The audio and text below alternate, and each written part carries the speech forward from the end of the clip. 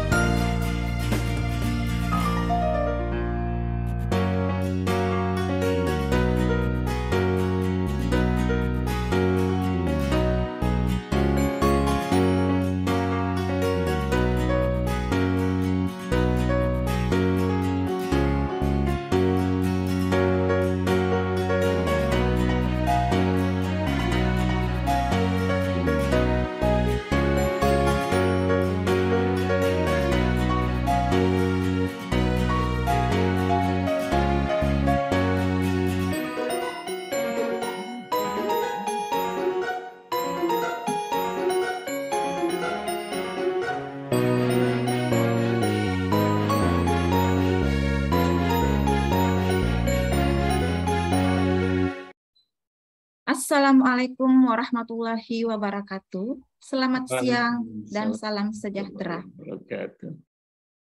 Alhamdulillahirabbil alamin wassalatu wassalamu ala asrofil anbiya wal mursalin sayyidina Muhammadin wa ala alihi wa sahbihi ajmain amma ba. Yang terhormat Ketua Departemen Biologi FMIPA IPB University, Bapak Dr. Insinyur Iman Rusmana, MSI. Yang kami hormati Bapak Direktur GTK Madrasah Kementerian Agama Republik Indonesia, Bapak Dr. Haji Muhammad Zain MAG. Yang kami hormati Bapak Kasubdit Bima GTK MAMAK Kementerian Agama RI, Bapak Dr. Haji Dr. Anis Mashkur MAG. Yang kami hormati Bapak Insinyur Tri Herwidarto MSC dan Ibu Dr. Nisa Rahmania MSI sebagai narasumber serta Bapak Ibu Panitia Pelaksana webinar siang hari ini yang kami hormati, Bapak Ibu, Saudara peserta webinar nasional pendalaman materi biologi 2002 seri 8 untuk guru biologi IPA dan umum yang dilaksanakan hari ini, Selasa 30 Agustus 2022. Alhamdulillah, puji syukur kita panjatkan kehadirat Allah Subhanahu wa taala karena hingga hari ini kita masih dianugerahkannya kesehatan dan kesempatan untuk bisa mengikuti kegiatan webinar pendalaman biologi pada siang hari ini. Tak lupa pula, salawat dan salam semoga senantiasa tercurah pada junjungan kita Nabi Muhammad SAW beserta keluarga dan para sahabatnya. Bapak Ibu peserta webinar siang hari ini, perkenalkan saya Reni dari Manpindrang selaku moderator webinar nasional pendalaman biologi hari ini. Izinkan saya terlebih dahulu membacakan susunan acara kegiatan webinar siang hari ini. Acara pertama yaitu pembukaan yang akan diikuti dengan pembacaan tata tertib webinar. Selanjutnya akan dilaksanakan pretest lalu diikuti dengan penyampaian materi pertama yaitu materi protista yang akan disampaikan oleh narasumber kita Insinyur Tri Herwidarto MSC dilanjutkan dengan diskusi materi kedua. Acara selanjutnya yaitu penyampaian materi kedua yaitu tentang mikrobiologi dengan narasumber Ibu Dr. Nisa Rahmania MSI dan dilanjutkan dengan diskusi materi kedua. Setelah itu akan dilaksanakan post test, pembacaan doa, dan penutup. Bapak Ibu peserta webinar, agar kegiatan kita siang ini dapat berjalan lancar tanpa kendala, marilah kita membuka acara siang ini dengan membaca basmalah secara bersama-sama. Bismillahirrahmanirrahim. Adapun tata tertib webinar pada siang ini adalah sebagai berikut. Selama acara berlangsung, partisipan dimohon untuk menonaktifkan mikrofon dan kamera, tidak menggunakan fitur chat untuk salam sapa, tidak melakukan share screen, peserta wajib mengisi daftar hadir. Link daftar hadir akan dibagikan setelah sesi pemaparan materi kedua dan akan ditutup setelah acara selesai. Jika ada pertanyaan, maka pertanyaan dapat diajukan melalui fitur chat dengan format nama, spasi nama sekolah, atau afiliasi spasi pertanyaan. E-sertifikat akan dikirimkan ke email peserta. Kemudian materi dapat diunduh pada link yang akan dibagikan oleh panitia. Baiklah, Bapak Ibu peserta webinar, sebelum memulai pemaparan materi, marilah kita mengerjakan pretest. Para peserta dapat mengikuti pretest selama lima menit ke depan dengan pada dengan mengakses link yang tertera di layar, baik melalui barcode atau juga dapat menggunakan link yang telah di-share panitia pada room chat. Selamat mengerjakan.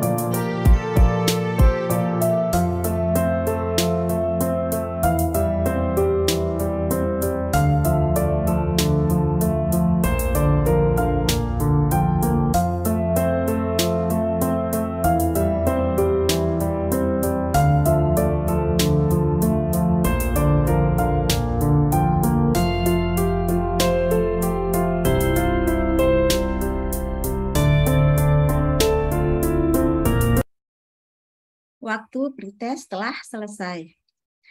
Bapak Ibu peserta webinar yang penuh semangat, telah sampailah kita pada acara yang ditunggu-tunggu yaitu pemaparan materi. Materi pertama dengan topik protista insya Allah akan disampaikan oleh narasumber kita yang terhormat, Bapak Insinyur Tri Heru Widarto, MSc. Eh, selamat siang Bapak. Ya, terima kasih telah mendampingi kami. Eh, sebelum pemaparan materi, terlebih dahulu saya akan membacakan uh, kurikulum vitae dari uh, narasumber.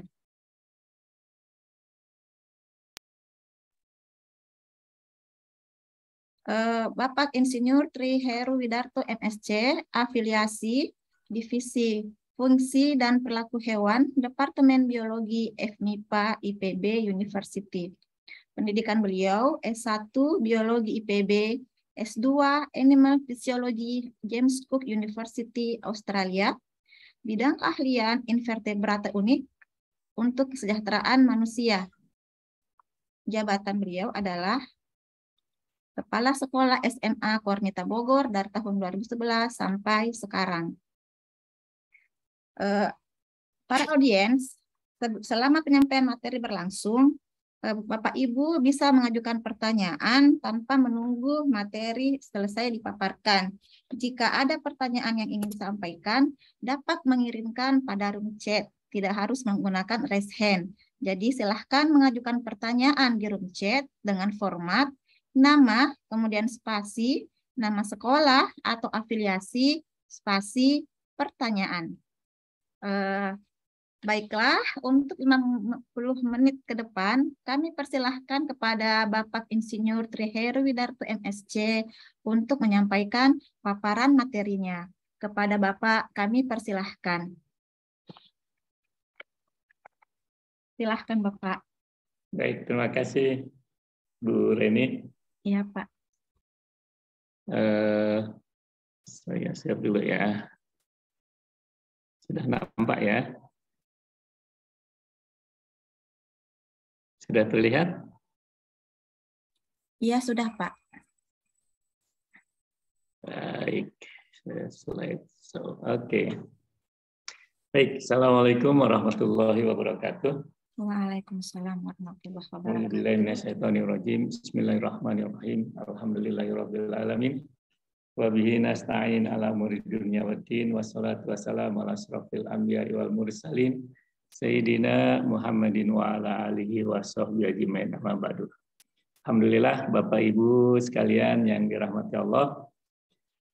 Alhamdulillah kita siang hari ini bisa uh, bertemu melalui Zoom dalam acara webinar ya, rutin uh, yang diselenggarakan oleh Departemen Biologi bekerja sama dengan uh, eh, MGMP Madrasah Aliyah ya?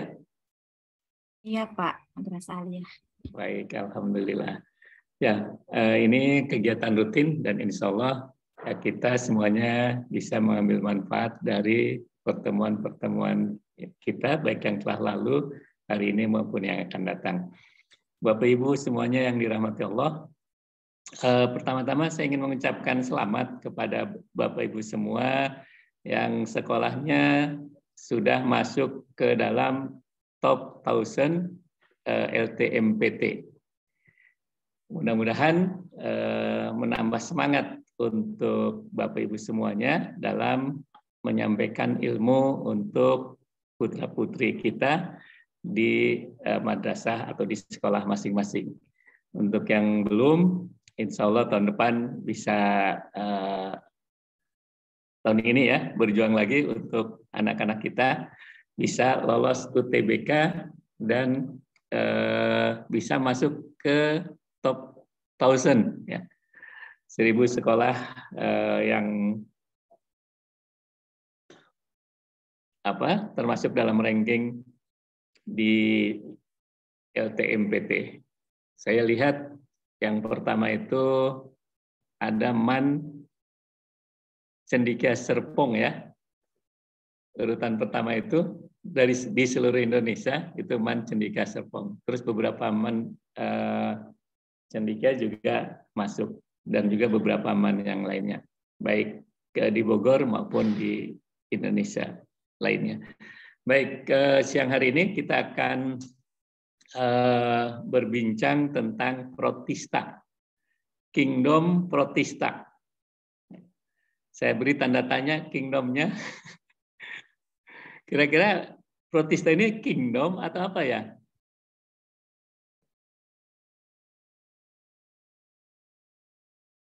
Sebagian uh, ya. Kalau yang ini. di buku-buku itu masih masukkan kingdom, Pak. Masuk di buku-buku yang ya? kami ajarkan ya. Oke, baik. Itu untuk ke apa? Sistem lima dunia. Ya. Kita masukkan protista ini ke dalam kingdom. Uh, tapi ternyata protista ini bukan satu kelompok yang sama. Ya, kita tahu kan ya, protista ini adalah penampungan untuk organisme yang tidak bisa disebut hewan, tidak bisa disebut tumbuhan, tidak bisa disebut fungi. Ya. Ya, semuanya dimasukkan ke dalam uh, protista. Sehingga ada yang mirip tumbuhan, ada yang mirip hewan, ya, ada yang mirip uh, fungi. Tapi para ahli ya ini memang biasa ya eh, di kalangan para ahli mereka berbeda pendapat ya. Jadi ada yang eh, yang seperti yang kita ajarkan di sekolah ya di departemen biologi juga mereka diberitahu bahwa protista ini satu kingdom. Ya. Tapi eh, sesungguhnya banyak sekali kelompok ya di dalam protista yang berbeda-beda. Nanti kita akan lihat. Barangkali Bapak Ibu bisa mengenali ini hewan-hewan yang oh hewan-hewan organisme yang ada di sini. Ini apa ini yang saya tunjuk pertama ini?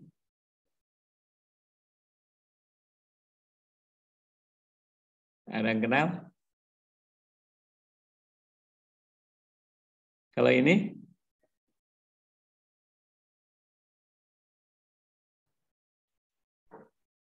Dari bentuknya. Oh. Ya, silakan. Kurang tahu, Pak. Hah? Kurang tahu, Pak. Kurang tahu ya. Ya, kalau ini giardia, ini radiolaria. Kalau ini tahu pasti ya. Alga. Ya, ini masuk alga ya. Alga. Alga. Nah, tapi alga yang uh, memiliki struktur tubuh seperti tumbuhan banget karena ada yang mirip daun, ada yang mirip batang, seperti yang kita lihat ya. ya kalau kita uh, angkat dari substratnya, kita akan melihat struktur seperti akar. Ya. Tapi dia dan kelompoknya itu tidak kita sebut sebagai tumbuhan. Karena daunnya mirip-mirip saja dengan daun uh, tumbuhan, batangnya, akarnya juga begitu. Nah, kalau yang ini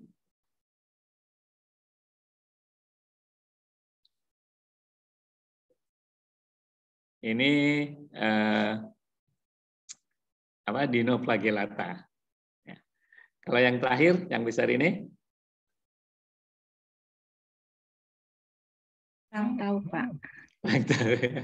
Ini plasmodium, uh, plasmodium yang berwarna biru, tapi uh, apa? Itu karena pewarnaan, ya, karena pewarnaan diberi warna jadi uh, biru. Yang biru-biru itu adalah plasmodium. Baik, itu semuanya adalah uh, protista. Belum lagi yang mirip fungi, belum uh, belum saya cantumkan gambarnya di sini. Tapi kalau kita pernah lihat serangga mati di air, kemudian ada bulu-bulu halus setelah beberapa hari, ya, itu adalah uh, protista yang mirip cendawan. Ya. Oke, kita kebiasaan ini. Kalau pakai slide apa? So oh ini bisa. Oke. Okay. ya, kita lihat dulu karakteristik dari protista ya. Pertama eh, mereka adalah eukariotik ya kan? Seluruh protista adalah termasuk kalau kita bagi eh, apa? Makhluk hidup ini menjadi tiga domain, itu ada domain archaea kan, domain bakteria dan domain eukarya. Ya. Nah, domain eukarya ini adalah semua organisme yang selnya, sel penyusun tubuhnya uh, eukariotik. Ya. Yaitu sel yang intinya ada jelas ada membran intinya. Begitu juga organel-organelnya ya, bermembran.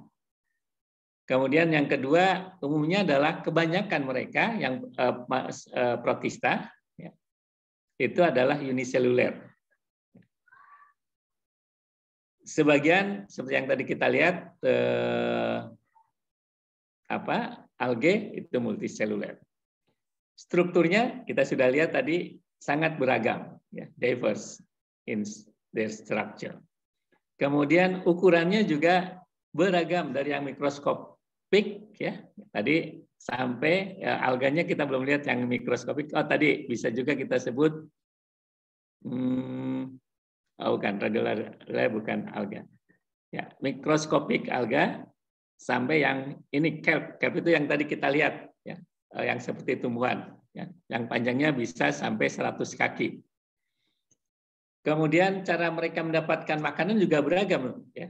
Protista ini ada yang autotrof, ada yang heterotrof dengan menelan ya, seperti hewan, ada yang heterotrof dengan mengabsorpsi ya, seperti pada seperti yang dilakukan bakteri dan uh, fungi ya. Mereka menyerap makanannya. Tapi ada juga yang mixotrof. Bisa melakukan dua-duanya, ya. bisa autotrof, bisa heterotrof. Kalau situasinya apa? Ada cahaya, dia melakukan fotosintesis. Kalau tidak ada cahaya, dia melakukan eh, atau mendapatkan makannya, nutrisinya dengan cara heterotrof, yaitu mengejar atau mencari eh, makanan atau bahan organik. Reproduksinya itu juga eh, ada yang aseksual ya, dengan mitosis, biasa kita sebut dengan pembelahan biner ya. ya. Dan juga secara seksual ya, yang melibatkan proses meiosis dalam proses pembentukan sel apa? Meiosis pembentukan sel gamet ya. Pembentukan sel gamet. Ya, betul. Dan juga pembentukan uh, spora yang biasanya dilakukan ketika lingkungannya tidak ramah ya atau lingkungannya uh, menjadi buruk, maka uh, mereka membuat uh, spora. Spora biasanya dia tahan ya uh, atau resisten terhadap uh, lingkungan yang buruk ini. Beberapa protozoa bahkan membentuk sista. Ya. Sista ini eh, fase istirahat. Jadi ketika situasinya lingkungannya memburuk, mereka membentuk sista dan nanti ketika eh, lingkungannya pulih atau kondisinya normal lagi, sista ini akan eh, menetas atau akan menjadi individu baru.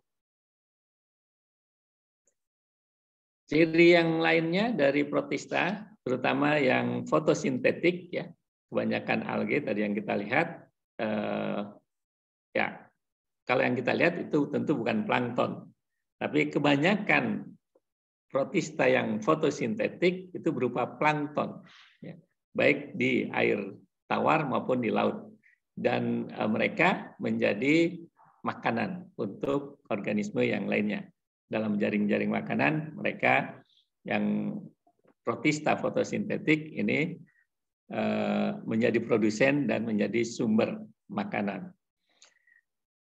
Ya, tadi sudah saya sebutkan ini yang terakhir bahwa eh, kingdom anggota kingdom protista ini sangat eh, beragam ya.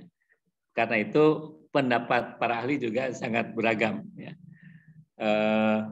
Ada yang menyebutnya sebagai kingdom, ada yang menyebutnya hanya sebagai nama saja penampungan untuk eh, film-film atau divisi. Kalau film kan biasanya kita eh, berikan untuk kelompok hewan, film ya. Ada film uh, Solenterata, film Porifera, ya kalau hewan ya. Nah ini ada yang menyebutkan film untuk kelompok-kelompok protista yang berbeda-beda. Ya. Ada yang untuk yang mirip tumbuhan mereka menyebutnya divisi, ya, dan seterusnya. Tapi kita tidak uh, terlalu terlalu ngotot ya, tidak perlu terlalu ngotot untuk berpendapat atau mengambil pendapat yang mana. Ya. Kita uh, karena ini juga jadi perdebatan para ahli. Oke, uh,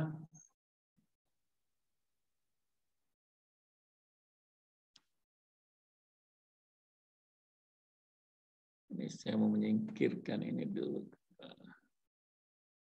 Oke, ini uh, kelompok ke dari protista. Ya. Kalau kita lihat ini tiga domain dari organisme atau makhluk hidup. Ya. Saya biasanya kalau di kelas di awal kuliah, di awal praktikum itu menjelaskan bahwa eh, semua ciptaan Allah itu adalah makhluk. Termasuk organisme, itu adalah makhluk. Makhluk hidup. Karena makhluk itu kan dari bahasa Arab ya. ya. Artinya apa? Ciptaan ya. Dan eh, ketika kita berbicara ciptaan tentu ada penciptanya. Dan penciptanya itu adalah al khaliq ya, sang maha pencipta.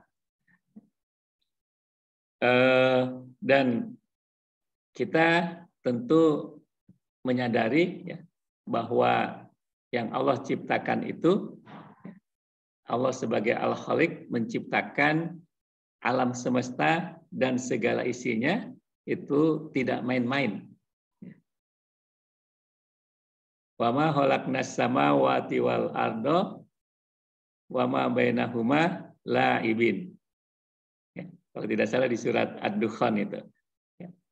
Wa ma khalaqnas samawati tidaklah kami ciptakan langit wal ardo dan bumi wa ma bainahuma dan apa-apa yang ada di antaranya laibin dengan main-main.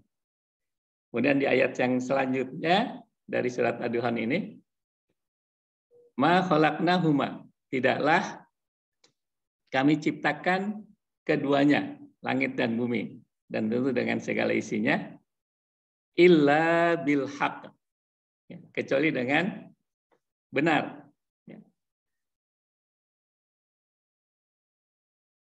walakinna aksarahum la ya'lamun. Akan tetapi kebanyakan mereka tidak mengetahui. Ya. nah jadi kita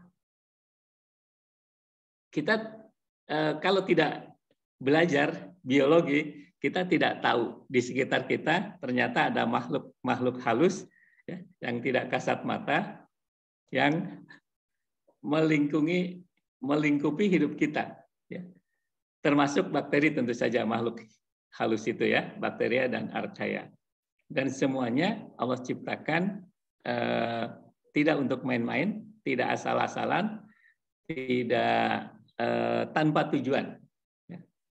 Di surat Al-Baqarah mungkin Bapak Ibu eh, tahu di ayat yang ke-28 atau 29 Wallazi khalaqalakum ma fil ardi jami'a. Ya. Setelah Allah bertanya kaifata kuru nabillahi wa kuntum amwatan fa ahyakum summa yumitukum summa yuhyikum summa ilahi turjaun. Ya.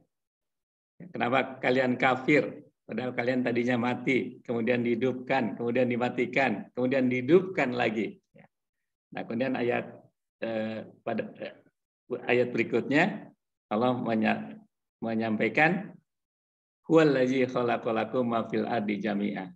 Dan dialah Allah yang menciptakan semua ini untuk kalian, untuk manusia, ya, semuanya. Nah, termasuk ke protista ini.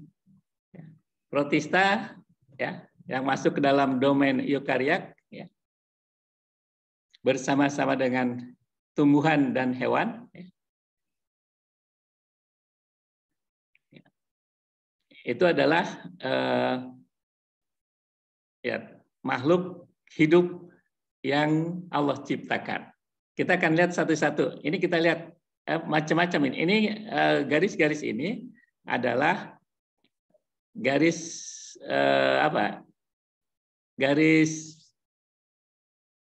keturunan ya. Ini common ancestornya, nenek moyang bersamanya dari semua organisme.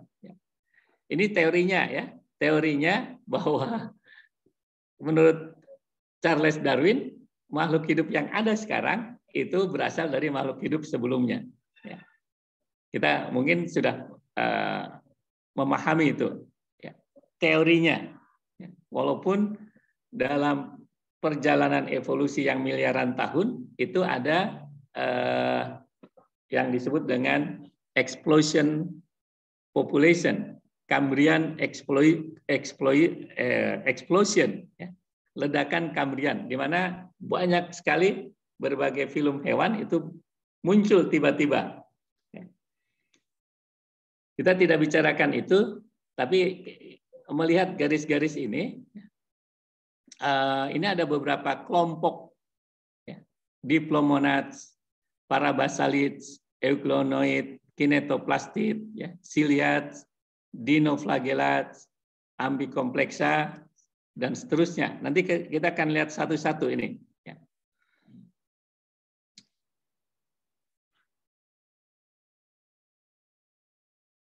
Kita sampai jam jam uh, 14.05 Bapak. Sampai jam 14.05. Oke, baik. Presentasinya sampai penyampaiannya? Ya, sampai 14.05, kemudian 15 ya, 15 menit ya. kemudian akan ada diskusi. Baik.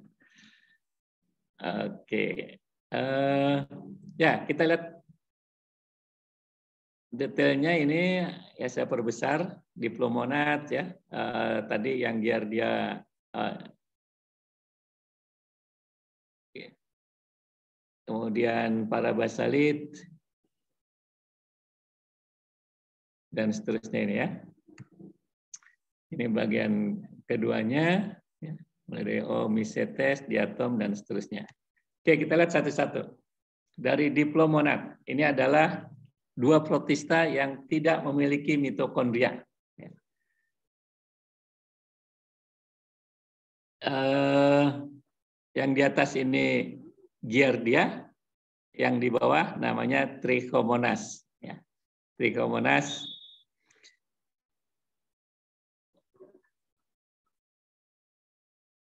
ya biasanya hidup di untuk trikomonas ini menyebabkan eh, penyakit ya trikomonas vaginalis pada alat reproduksi wanita. Kalau giardia ini biasanya menyebabkan eh, disentri. Ya. Jadi dua kelompok ini mereka tidak memiliki mitokondria.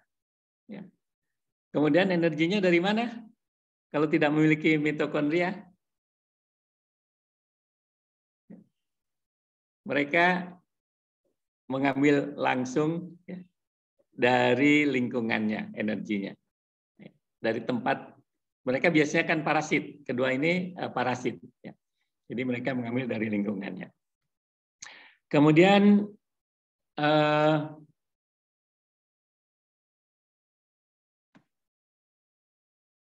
Euglonoid yang fotosintetik kita sudah tahu ya euglenia. Ya. Euglena ini uh, yang selalu kita pelajari atau sering kita pelajari ketika mahasiswa kuliah ya biologi ini mereka akan uh, mendapatkan materi tentang euglena. Kemudian ada kinetoplastid yang parasit, hidupnya parasit. Kita juga sering mengamati ini walaupun tidak terlalu jelas kalau di lab itu ya, Trypanosoma, Trypanosoma gamiens. ini diperbesar sampai berapa kali nih ya? Kalau di bawah mikroskop biasanya kita menggunakan pembesaran eh, 10 kali 40 atau 400 kali. Itu kelihatan hanya garis ungu saja. Dia biasanya adanya di, di atas eh, sel darah merah. Ya, ini cukup besar ini pembesarannya dan pewarnaannya bagus. Kemudian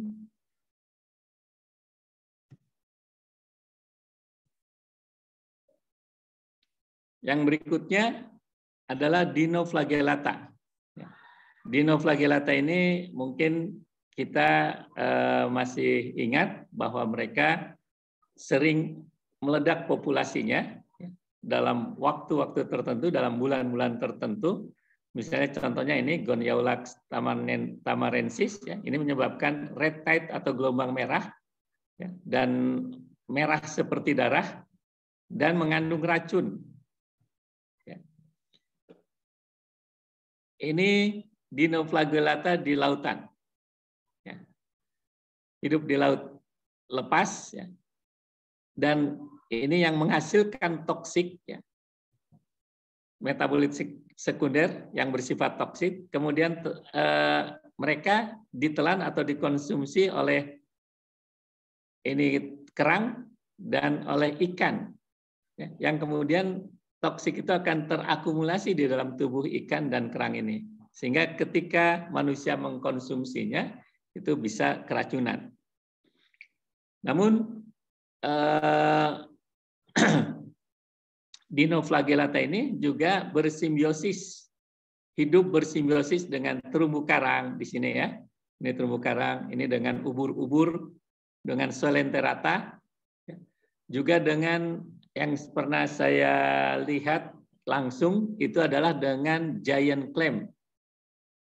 Pernah lihat giant clam? Kalau Bapak Ibu tinggal di daerah pesisir, ya, itu ada giant clam atau tiram raksasa. Bias, di dasar laut hidupnya, masuk moluska, ya, giant clam ini, di dasar laut bobotnya bisa mencapai 400 kg walaupun dia tidak ke mana-mana. Dia hanya setting uh, settling di dasar perairan, ya tentunya uh, harus perairan dangkal karena ternyata giant clam ini hidup dari hasil fotosintesis. Dan yang melakukan fotosintesis itu adalah dinoflagellata yang masuk ke dalam jaringan mantelnya, tinggal di sana dan kemudian eh, melakukan fotosintesis dan mensuplai hasil fotosintesisnya itu untuk si giant clam sehingga bobotnya bisa sampai 400 kg.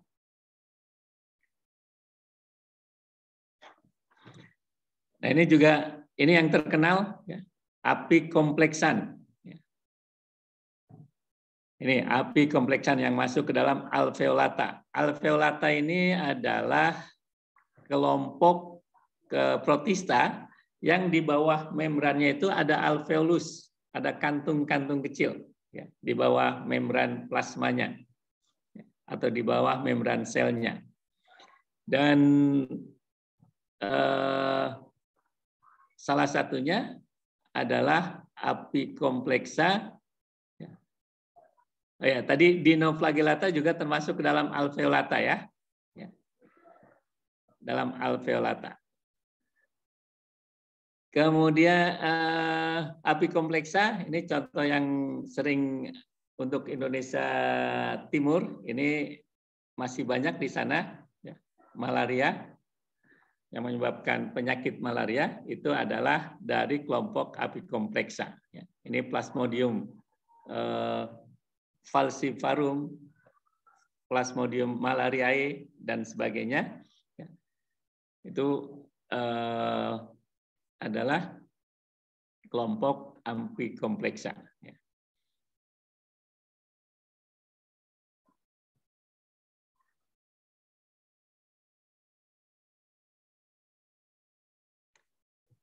Kemudian dari alveolata juga adalah ada ciliata. Ciliata, ini juga familiar untuk kita ya. Eh, sangat beragam. Ini yang sering kita lihat kalau kita ambil setes air di kolam, ya, kemudian letakkan di objek gelas, kita bisa melihat eh, siliat eh, paramecium ini. Vorticella kita jarang menemukannya ya, atau parasineta atau plotes, tapi ini sering ya paramecium. Tapi kalau kita jeli, amati di bawah mikroskop, mungkin kita bisa temukan eh, beberapa jenis dari siliata ini ya. Kemudian ini oh ya ini uh, agak cerita lebih detail tentang paramecium ya. Ini anatominya dan ini yang menarik ya paramecium selain mereka uh, reproduksi aseksual, ya. reproduction without sex, tapi mereka juga bisa uh, melakukan seks without reproduction. Ya. Jadi mereka bisa melakukan uh, konjugasi, kemudian saling bertukar material genetik, kemudian berpisah ya. tanpa bertambah individunya. Jadi seks without reproduction. Ya. Kalau yang pembelahan biner, ya, dari satu sel menjadi dua sel, ya, menjadi banyak sel, itu reproduction. Walaupun tidak ada eh, aktivitas seksualnya. Nah ini yang tadi eh, saya singgung dari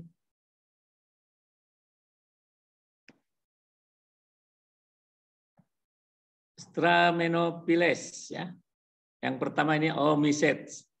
Kalau dari namanya tentu kita menduga bahwa dia adalah cendawan. Dari bentuknya juga ya. Dari struktur morfologinya ya, kita akan mengira atau akan mengatakan bahwa ini adalah cendawan yang sedang melakukan atau mendekomposisi serangga yang mati. Ternyata ini adalah eh, ya boleh kita sebut water mold atau kapang air. Walaupun dia bukan masuk fungi. Tapi dulu pernah sebelum eh, di awal-awal mereka dimasukkan ke dalam eh, kingdom fungi. Tapi kemudian mereka apa dibedakan dari fungi ya. Walaupun mereka mirip dengan fungi ya. Ini saprolegnia. Ya. Dan ada lagi yang water moth yang lain namanya Phytophthora infestan. Ini ternyata pernah eh, menyebabkan kelaparan ya, di Amerika Serikat sampai 2 juta orang mengungsi karena Phytophthora infestan ini menyerang tanaman kentang sehingga gagal panen dan uh, in a matter of days dalam beberapa hari ya, itu uh, semuanya rusak ya dan tidak bisa menghasilkan kentang tanamannya.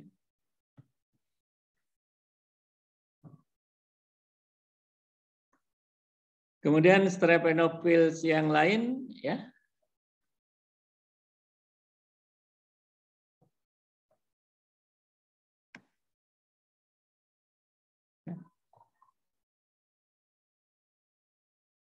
adalah diatom. Jadi Streptococcus ini adalah uh, protista yang memiliki dua flagela tetapi tidak sama. Kita tidak melihat flagel di sini pada diatom. Yang kita lihat ini adalah cangkangnya. Dia diatom ini kita masukkan ke dalam alge juga ya. Ini walaupun dia ada di sini, ya, kita masukkan ke dalam alge karena memang bisa melakukan uh, fotosintesis. Ya. Tapi mereka alge yang bercangkang. Ya. Dan kita lihat cangkangnya ini uh, sangat cantik ya, bentuk simetris. Ya. Bentuknya banyakkan simetris. Ini menggunakan uh, mikroskop elektron yang ini ya. Ini juga uh, foto dengan menggunakan mikroskop elektron.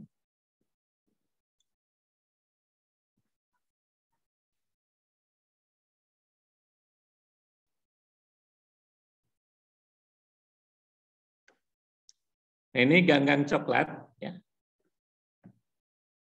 Ini bentuknya seperti pohon palem. Uh, maaf Bapak, belum tampil yang ganggang coklat. Belum ganti ya? Iya, Pak. Your screen sharing is pause. Uh, kenapa pause?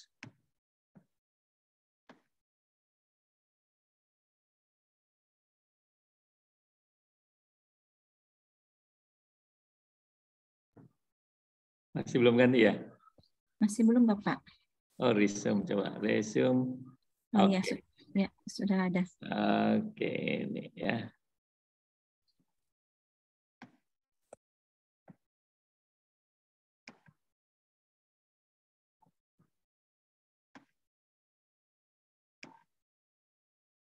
Nah, ini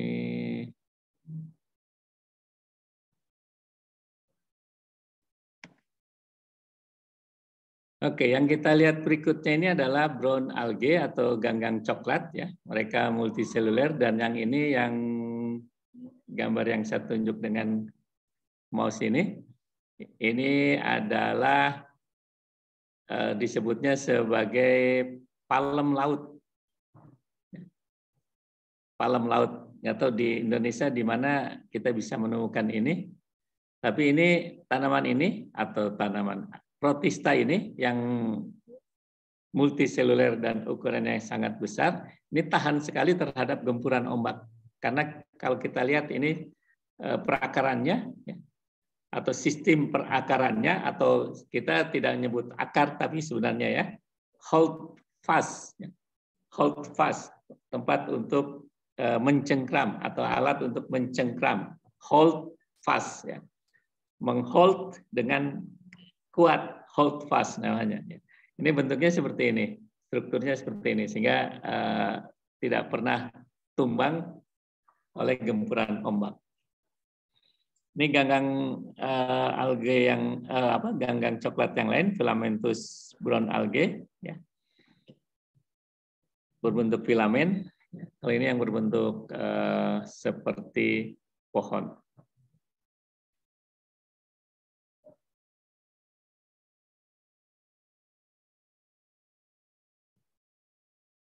Ini ganggang merah. Ya.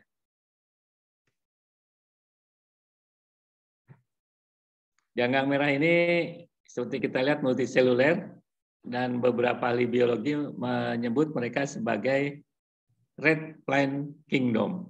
Ya. Kingdom tanaman merah karena warnanya eh, yang merah akibat pigmen phycoerythrin. Uh, relatively large amount ditemukan dalam jumlah besar di klorofas di kloroplasnya. Ya. Tentu saja selain phycoerythrin ada juga uh, phycocyaninnya, carotenoids dan klorofil A.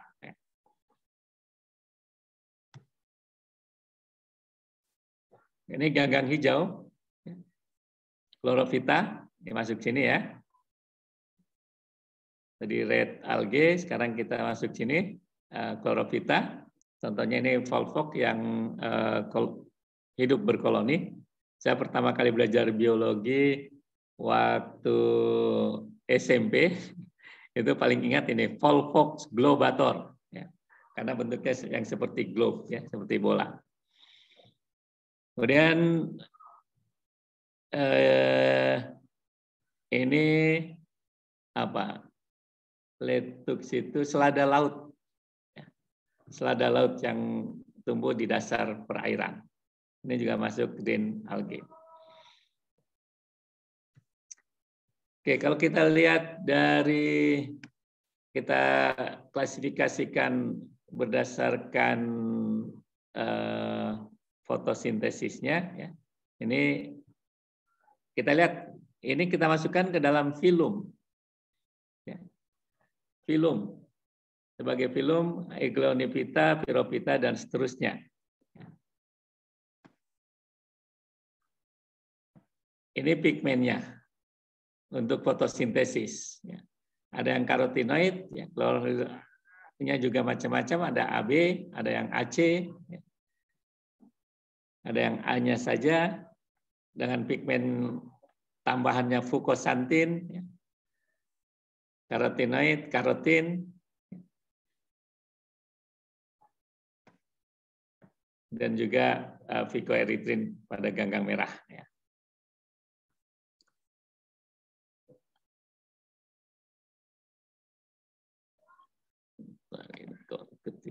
Oke, next ini.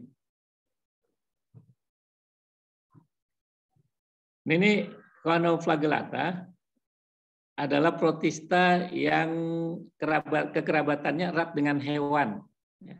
Karena mereka eh, punya flagella ya, yang ada di posterior, opistocons. Ya. Opistocon artinya flagellanya di posterior fungi, animal, ya, dan dinoflagellata. Uh, sorry, quanoflagellata. Quanoflagellata ini uh, link to animal kingdom. Kalau kita lihat uh, fungi, uh, apa spons, sorry, bukan fungi, spon atau porifera, ya, itu kita uh, tahu bahwa spons ini porifera adalah hewan yang tubuhnya tersusun dari sel-sel seperti eh, Quanoflagellata ini. Jadi ada ada badan sel yang kemudian ke arah posteriornya itu ada flagella dan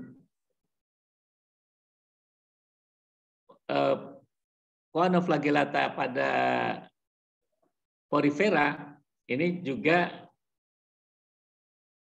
atau langsung ya, menangkap partikel-partikel makanan yang masuk ke dalam tubuh porifera.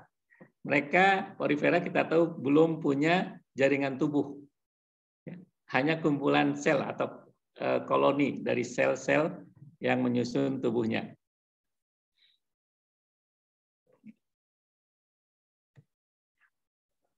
Oke, yang terakhir ini ini protista yang mirip hewan. Ya, ada yang eh, memiliki cangkang. Ya. Protista mirip hewan yang memiliki cangkang. Mereka eh, ber, bergerak dengan pseudopodia. Ya. Ini radiolaria ya. atau apa sorry ini heliozoa ya dengan pseudopodianya yang eh, apa terjulur keluar dari pori-pori ya. Kemudian dua yang terakhir ini adalah eh, Visarium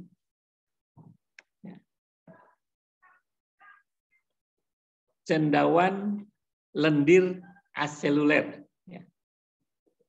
Walaupun disebut sebagai cendawan lendir aseluler, tetapi mereka perilakunya mirip hewan. Ya. Mereka biasanya tinggal atau hidup di pokok-pokok kayu atau batang-batang kayu yang eh, sedang mengalami proses pembusukan. Mereka mengkonsumsi secara eh, heterotrofik ya atau menghasilkan enzim ekstra, ekstraseluler untuk mencerna selulo, selulosa ya, yang kemudian diabsorpsi oleh eh, tubuh atau sel-sel penyusun tubuhnya. Uh, izin mengingatkan Bapak, uh, ya. waktunya tinggal lima menit lagi. Lima menit lagi ya. Oke, ini ya. uh, Nah, ini yang yang seluler, yang tadi aseluler, ya, slime mold atau cendawan lendir aseluler, ini yang uh, seluler. Ini juga umum di pokok-pokok kayu yang sedang membusuk. Ya. Uh, ya mereka kalau yang ini sepanjang hidupnya atau kebanyakan waktunya itu mereka berada dalam bentuk sel amoeboid. Sel amoeboid itu artinya sel seperti amoeba yang soliter. Ya.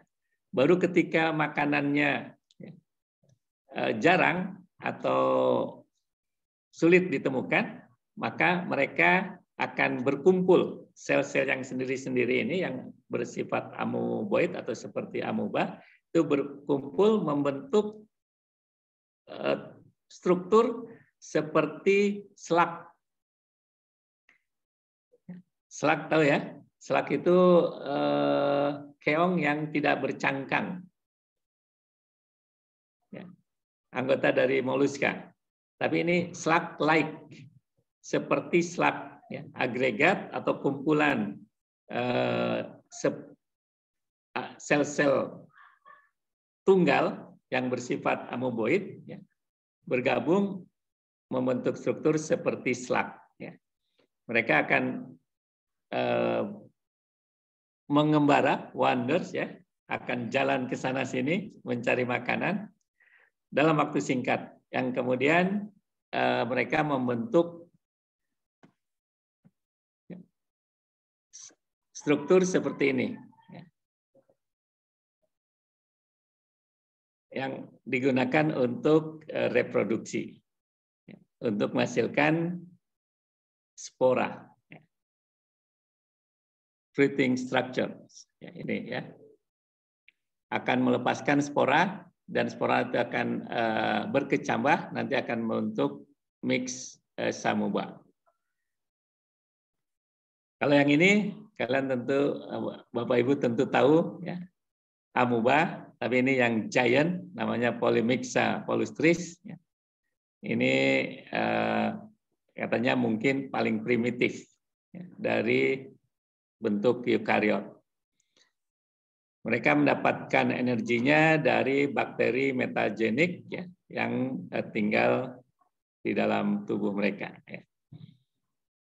Mereka tinggal di apa perairan air tawar, ya, di dasar perairan air tawar dan mungkin membantu dalam proses eh, degradasi organik molekul. Nah ini beberapa apa tadi sudah kita singgung actinopoda ya ada foraminifera amplicompleksa dan ciliata ya.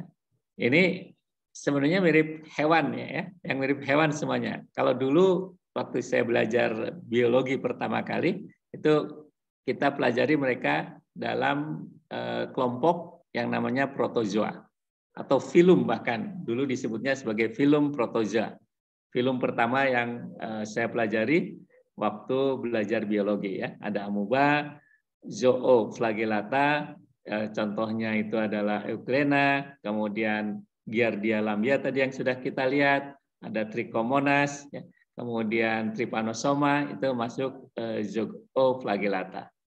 Kemudian actinopoda ini yang eh, ada duri-durinya. Foraminifera tadi sudah kita lihat ya, yang cangkangnya bagus-bagus. Ampikompleksa ini yang tidak punya alat lokomosi ya. Ya, contohnya plasmodium dan yang siliata yang eh, apa yang memiliki silia. Oke, mungkin itu dari saya untuk saat ini. Terima kasih. Saya kembalikan ke Bu Reni sebagai panitia, sebagai moderator. Terima ya. kasih. Assalamualaikum warahmatullahi wabarakatuh. Waalaikumsalam warahmatullahi wabarakatuh. Eh, terima kasih kami ucapkan kepada Bapak Insinyur Tri Heru Widarto atas pemaparan materinya. Selanjutnya kita akan memasuki uh, sesi tanya jawab selama 15 menit uh, ke depan. Nah, adapun uh, pertanyaan yang diajukan oleh uh, peserta yang pertama itu dari uh, Ibu Siti Nurjana SMAN 3 Bantul. Apa ciri khas alveolata yang membedakan dengan uh, kelompok yang lain? Uh, mungkin uh, apakah mungkin jawab satu persatu ya Pak pertanyaan dari okay, peserta. Oh, iya, okay. jadi nih beliau menanyakan apa sih yang membedakan oh, alveolata? dengan Baik, terima kasih. Terima kasih. jadi sebelum saya jawab dari pertanyaan dari Bu Siti Nurjana dari SMA Negeri 3 Bantul, eh, tadi saya men-share dua chapter dari textbook biologi. Yang pertama dari Campbell, yang kedua dari Purves et al.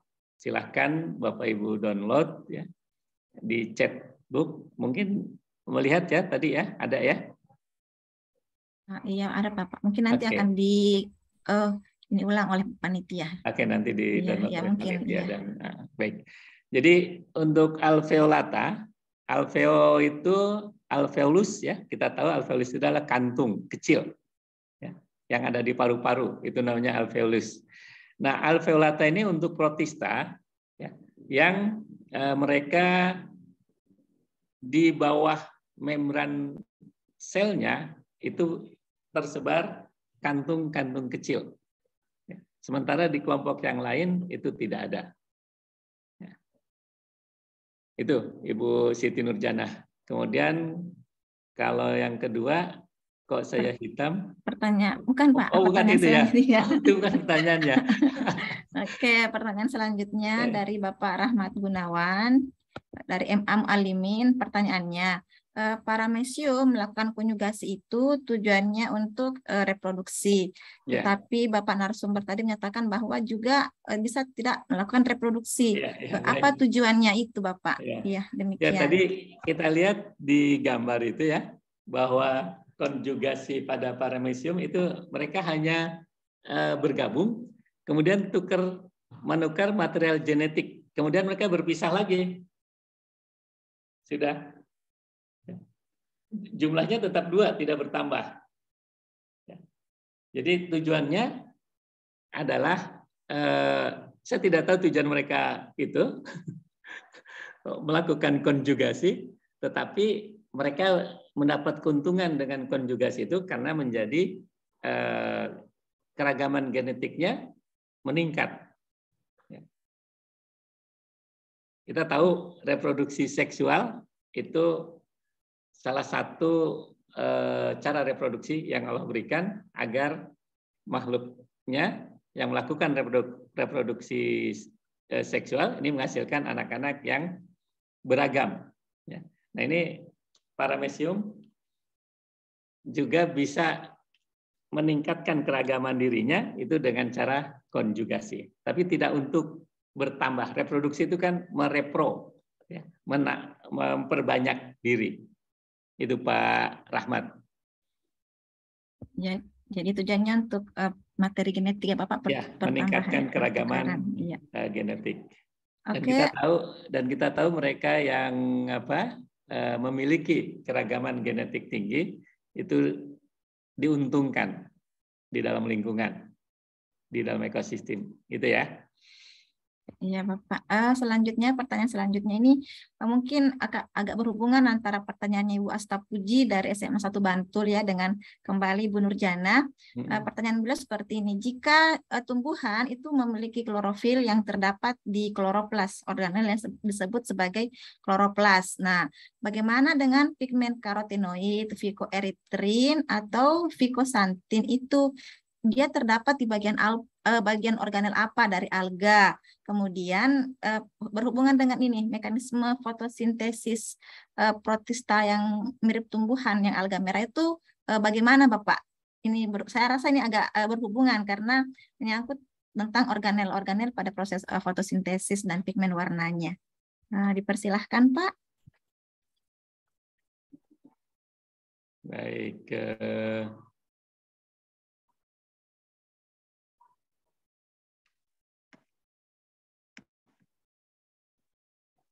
Ya, jadi fotosintesis pada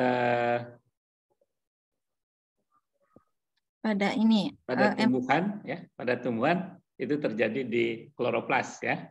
ya, Eh, Pigmen yang lainnya itu terdapat ada di bagian mana? di bagian mana? Saya belum pernah melihat di bagian mana dari pigmen-pigmen ini apakah bergabung dengan kloroplas atau tidak. Tapi saya menduga eh, pigmen-pigmen ini itu ada di dalam eh, apa alveolus atau maaf vakuola di dalam vakuola. Tapi mungkin nanti bisa kita cek ya tepatnya di organel apa. Mungkin Bapak Ibu bisa cek di Google sebentar untuk kandungan pigmen-pigmen itu di mana di organel apa letaknya. Lalu tentang proses fotosintesisnya, Pak?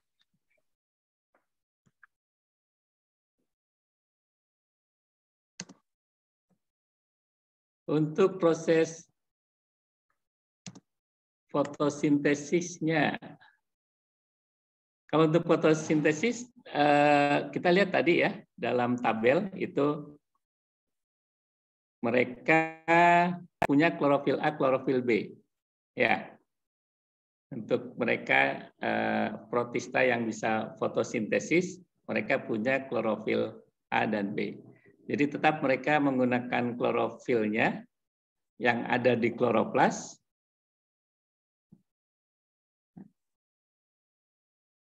untuk melakukan fotosintesis.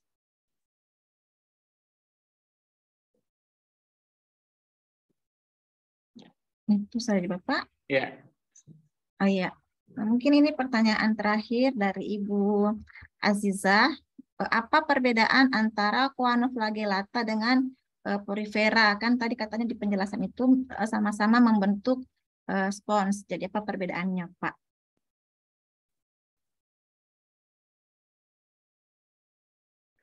Coanoflagellata dengan, dengan porifera yang tadi sama-sama bentuk spons. Ya, Coanoflagellata ini eh, hidupnya eh, apa? Solid apa terpisah ya. Kalau spons itu menjadi satu. Spons itu sel-sel yang seperti Coanoflagellata itu apa? berkumpul menjadi spons, menjadi porifera. Sedangkan Coanoflagellatanya itu hidup eh, terpisah-pisah. Nah, iya. Ah, masih ada Lebih. waktu. Oke. Ah, mungkin ini. Ini dari eh, pertanyaan mungkin dari panitia sendiri dari, Bapak eh, Ulil dan mungkin sempat ter- eh, jadi pertanyaan juga buat kami seperti ini. Kan eh, sista itu juga ada pada bakteri Bapak. Nah, sekarang apakah sama mekanisme pembentukan sista itu pada protozoa atau pada resistensinya pada kelompok bakteri? Sista protozoa dan bakteri. Ya, tentu saja berbeda ya, karena bakteri itu kan eh, apa? Mereka prokariot tidak punya inti atau tidak punya membran inti, sedangkan protista ini eh, adalah organisme yang memiliki membran inti. Karena itu tentu mekanisme pembentukan sista itu akan eh, berbeda. Walaupun saya tidak tahu persis seperti apa prosesnya, tetapi eh, tentunya berbeda.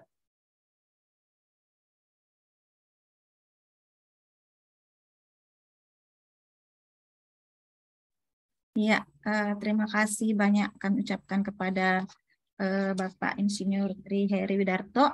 Adapun pertanyaan mungkin dari peserta yang lain mungkin akan direkap oleh panitia dan akan diteruskan kepada eh, Bapak narasumber. Mudah-mudahan materi yang kita dengarkan hari ini itu menambah hasanah pengetahuan kita bersama.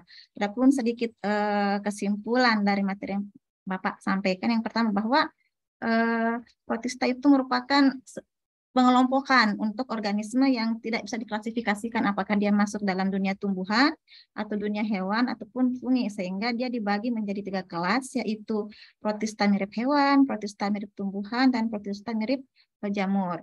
Kemudian eh, yang karakteristik yang utama itu dia merupakan organisme eh, eukariot yang kebanyakan uniseluler dengan bentuk yang beragam dapat bersifat eh, autotrof, heterotrof atau mesotropik serta uh, dapat membentuk uh, sista. Uh, sekali lagi kami ucapkan terima kasih kepada Bapak Insinyur Triher Widarto MSc atas materinya hari ini. Semoga kita dapat dipertemukan kembali di kesempatan webinar-webinar selanjutnya. Salam sehat selalu dari kami Pak dan selamat melanjutkan aktivitas kembali. Terima kasih. Baik, terima kasih Bu Reni, Bu Moderator, dan Bapak Ibu semuanya.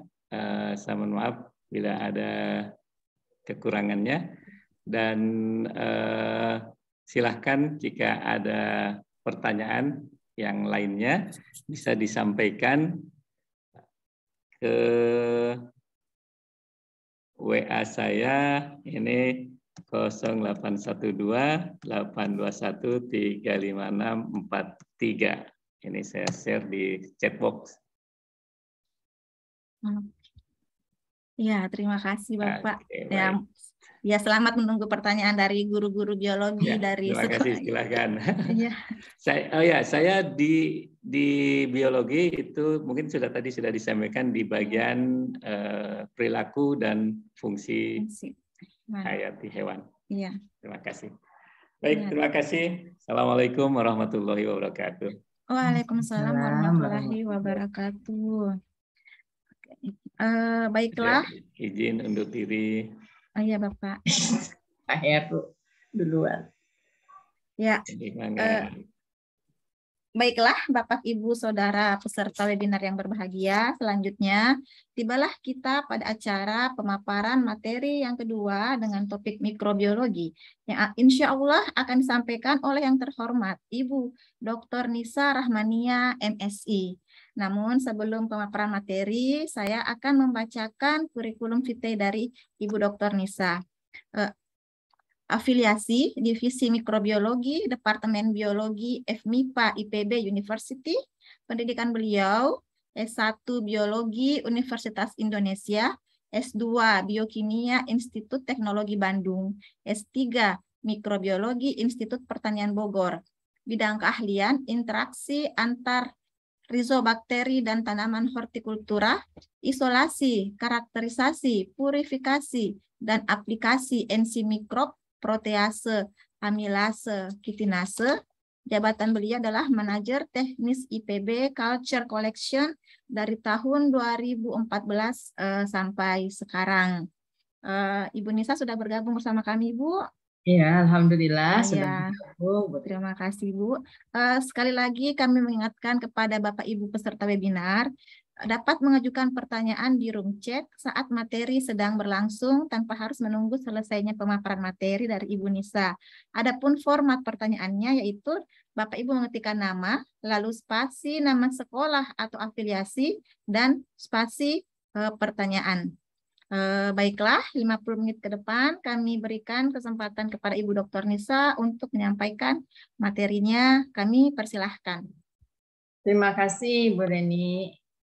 Assalamualaikum warahmatullahi wabarakatuh. Bapak dan Ibu sekalian, uh, selamat siang. Alhamdulillah uh, saya mendapatkan karunia ini untuk bertemu Bapak dan Ibu uh, MTMP, MTMP ya. Nah, saya mendapatkan apa namanya tugas. Oke, silakan Pak. Alhamdulillah sudah ditolong dibantu di share, di share ya. Jadi mengenai pengelompokan mikroorganisme, saya sendiri ini Rahman yang Mubarik. Nanti Bapak dan Ibu bisa lihat di Google Scholar ya. Tadi yang terkait mungkin uh, nanti penelitian-penelitian uh, bisa dilihat Google Scholar Nisa Rahman yang Mubarik Departemen Biologi FMIPA IPB. Mohon maaf ini wajah saya berputih-putih karena latar belakangnya tidak hijau. Baik, lanjut boleh. Terima kasih Pak. Ibu. Slide berikutnya. Nah, baik.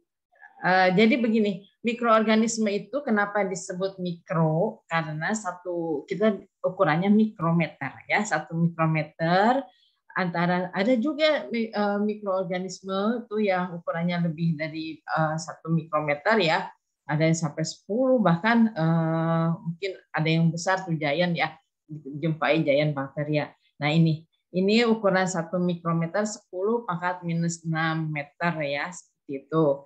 Nah, ini kemudian kita lihat ukuran di bawah satu mikrometer, satuannya ada nanometer, 10 pangkat uh, minus 3 mikrometer ya, seperti itu seperti itu ya. Nah, kemudian ada juga yang tadi makin lama makin besar di sini ya.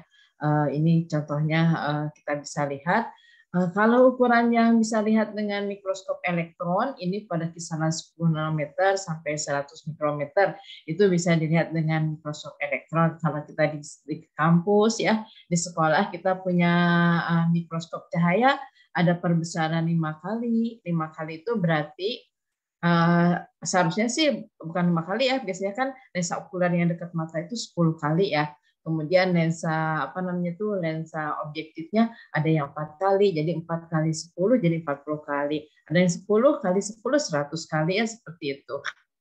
Ini kebetulan aja yang ditulisnya seperti ini ya. Nah kemudian ada juga yang bisa dilihat menggunakan kaca kaca uh, surya kanta atau kaca pembesar ya. Ini ya ukuran 1 mm sampai 10 mm jadi tampak lebih jelas. Nah, yang bisa terlihat oleh mata ya, mata ya, mata yang normal tentunya ya. Ini antara 100 eh, apa eh, milimeter ya, tentunya sampai lebih lebih dari itu. Nah, sekarang eh, kategori mikroorganisme itu apa? Pokoknya yang uh, ukurannya tadi mikro ya, mikro seperti itu uh, yang hanya bisa dilihat dengan bantuan uh, mikroskop cahaya ya, mikroskop cahaya. Nah, uh, apa namanya tuh uh, tadi Pak Heru sudah menjelaskan juga tentang protista ya. Protista juga ada yang termasuk mikroorganisme. Lanjut Pak, lanjut ya. Nah, baik. Jadi uh, sebenarnya di sini uh, kita tahu ada namanya Bapak Anthony van Leeuwenhoek. Bapak Anthony van Leeuwenhoek ini adalah yang penemu mikroskop sangat sederhana ya, ada lensa, ada penyangganya, kemudian uh, apa namanya itu ada nanti tempat menyimpan sampel seperti itu ya. Nah ini beliau juga disebut uh, Bapak Mikrobiologi uh, hidup Eh, pada tahun 1632 sampai 1723. Nah, dari penemuan-penemuan uh, mikroskop uh, sederhana oleh Bapak Anthony van Leeuwenhoek itu, kita bisa melihat tuh berbagai macam uh, sel darah merah ya. Ini beliau menuliskan seperti ini, sel darah merah, uh, kemudian ada bagian pula sel-sel yang lain termasuk juga protozoa ya Kemudian pada tahun eh, berikutnya juga bisa diamati bentuk-bentuk yang lain dan tentunya beliau gambar ya, beliau gambarkan kemudian ada bagi-bagiannya sesuai ukuran yang eh, diperlihatkan. Eh, lanjut. Nah, klasifikasi makhluk hidup itu mungkin Bapak dan Ibu sudah menjelaskan juga ya di sekolah bahwa yang pertama kali mengklasifikasikan itu adalah Carl Linnaeus Uh, beliau uh, di sini tertulis sekitar tahun 1735 hanya dua yang diamati ya plantae dan animalia kingdom kadang-kadang kalau dikatakan kingdom itu dunia ya padahal kingdom itu artinya kerajaan tapi kita katakan aja kita ada nyatakan dalam uh, istilah kingdom ya ada kingdom plantae animalia Nah, bedanya apa? Plantae ini bisa berfotosintesis, animalia tidak bisa berfotosintesis. Kemudian ciri morfologinya tentu berbeda ya, ini memiliki alat gerak, plantae tidak bisa memiliki alat gerak. Seperti itu yang bisa diamati uh, untuk perbedaan antara keduanya. Nah, berikutnya Ernest Haeckel. Ernest Haeckel karena tadi ada penemuan dari apa namanya tuh uh, mikroskop oleh uh, Bapak Anthony van Leeuwenhoek ya. Kemudian mikroskop juga di, makin disempurnakan. Jadi makin bisa terlihat tuh organ organisme yang ukurannya kecil. Makanya di sini tambahkan uh, kingdom ketiga yaitu protista. Jadi kingdom protista, perantai animalia. Kenapa tidak di nomor tiga protista? Mungkin ini dilihat dari ukurannya ya, seperti itu ya. Dilihat dari ukurannya, kemudian juga bisa juga dilihat dari tadi apa namanya cara mendapatkan uh, makanannya ya. Kemudian mendapatkan energi maksudnya ya ada protista, perantai animalia. Oh ya maaf, suara saya terdengar jelas tidak? Terdengar Ibu. Oke baik. Nah selanjutnya Copeland pada tahun 1956 ya itu uh, mikroskop sudah mulai itu ditemukan mikroskop yang uh, apa namanya cahaya es seperti itu. Maka bisa dilihat lagi ya ukurannya di uh, apa namanya diperbesar 400 kali ya ukuran mikrometer sudah terjelas sudah jelas terlihat. Di sini ada Monera, Monera oleh Cochrane dicantumkan, kemudian Protista, Plante, Animalia. Nah, tentunya semakin banyak yang bisa di apa namanya itu di apa di uh, diidentifikasi ya diklasifikasikan, kemudian dilihat gambarnya, dilihat bedanya satu sama lain. Nah, seperti itu ya.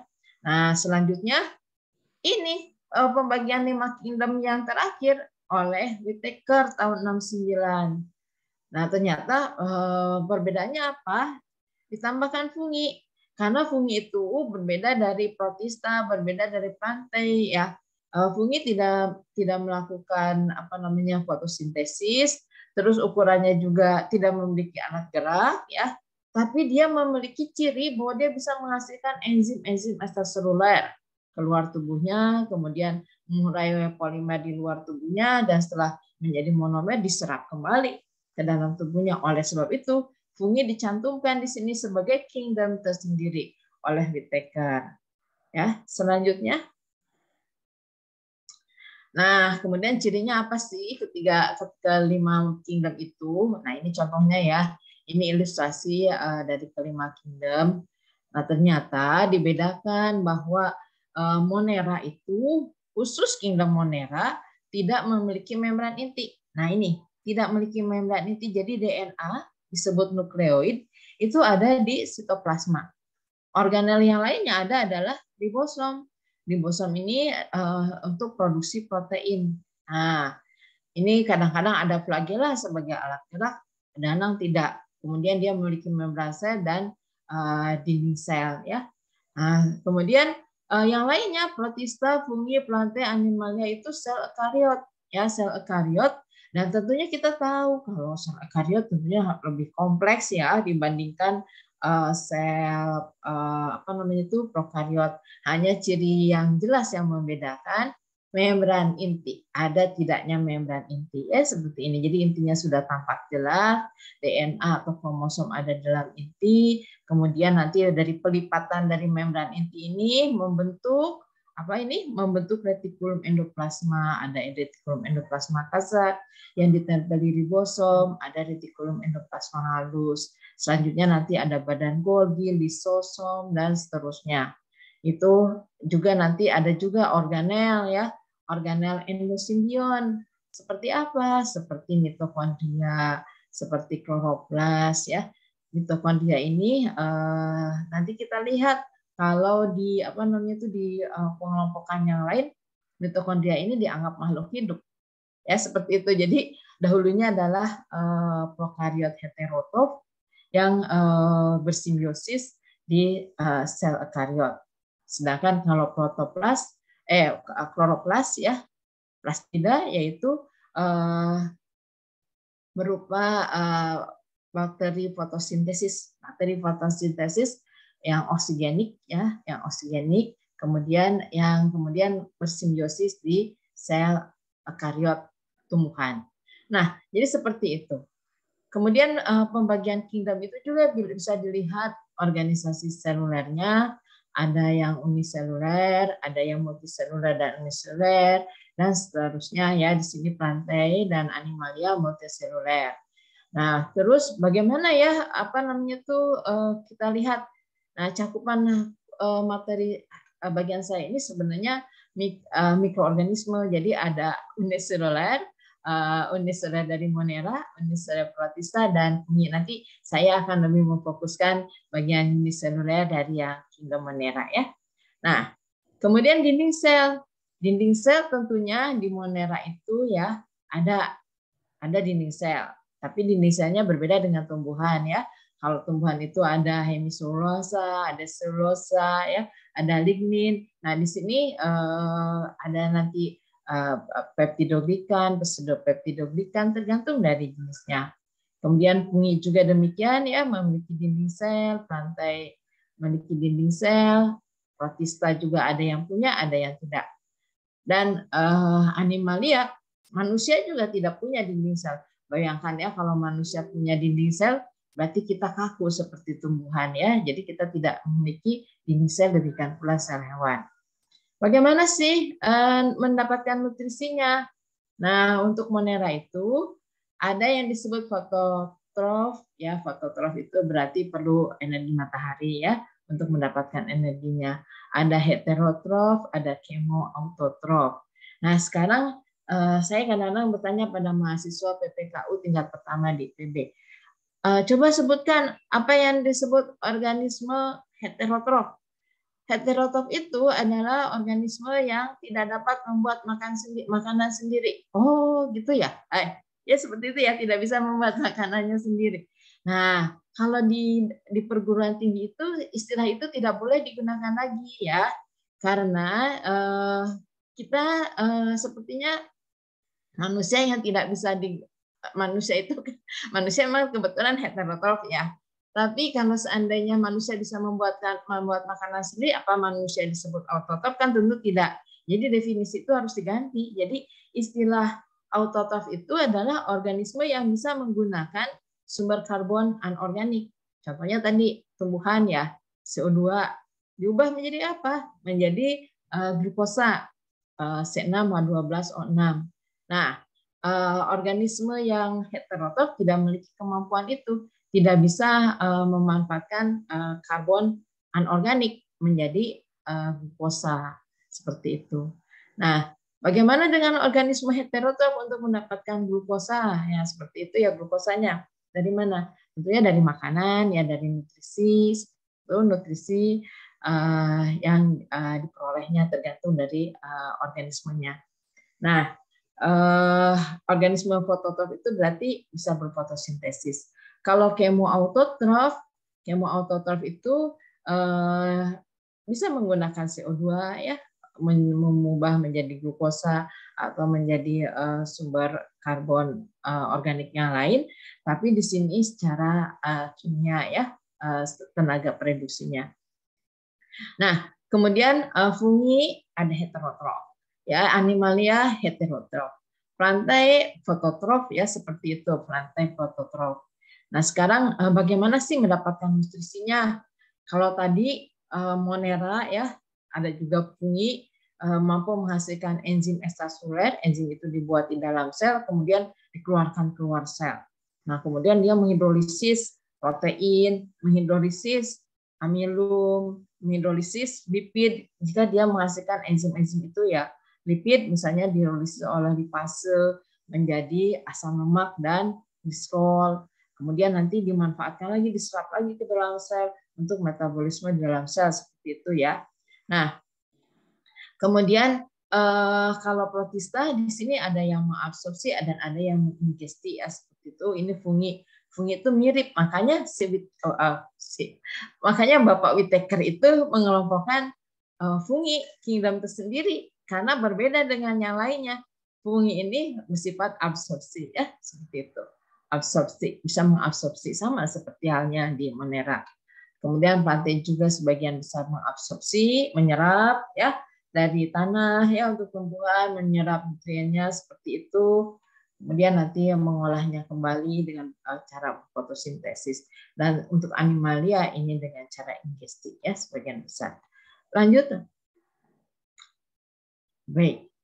Nah, akhirnya tahun 1977 ketika ya biologi molekuler sudah semakin pesat ya, semakin berkembang ya di mana-mana di seluruh penjuru dunia terutama di negara-negara yang memang uh, sebagai pendahulu meneliti biologi molekuler uh, diteliti ternyata sudah enggak enggak relevan lagi ya pembagian berdasarkan tadi ya berdasarkan nutrisinya, kemudian bagaimana dia tuh eh, apa namanya tuh eh, ya tadi yang sebutkan tadi ada tidaknya uh, ada tidaknya apa namanya itu uh, membran inti seperti itu ya. Nah ternyata akhirnya ya di sini Bapak Karl Hus beliau ahli biologi molekuler pada sekitar tahun 77 itu mulai meneliti. Sebenarnya ini uh, di apa namanya itu dipublikasikan sekitar tahun 80-an ya.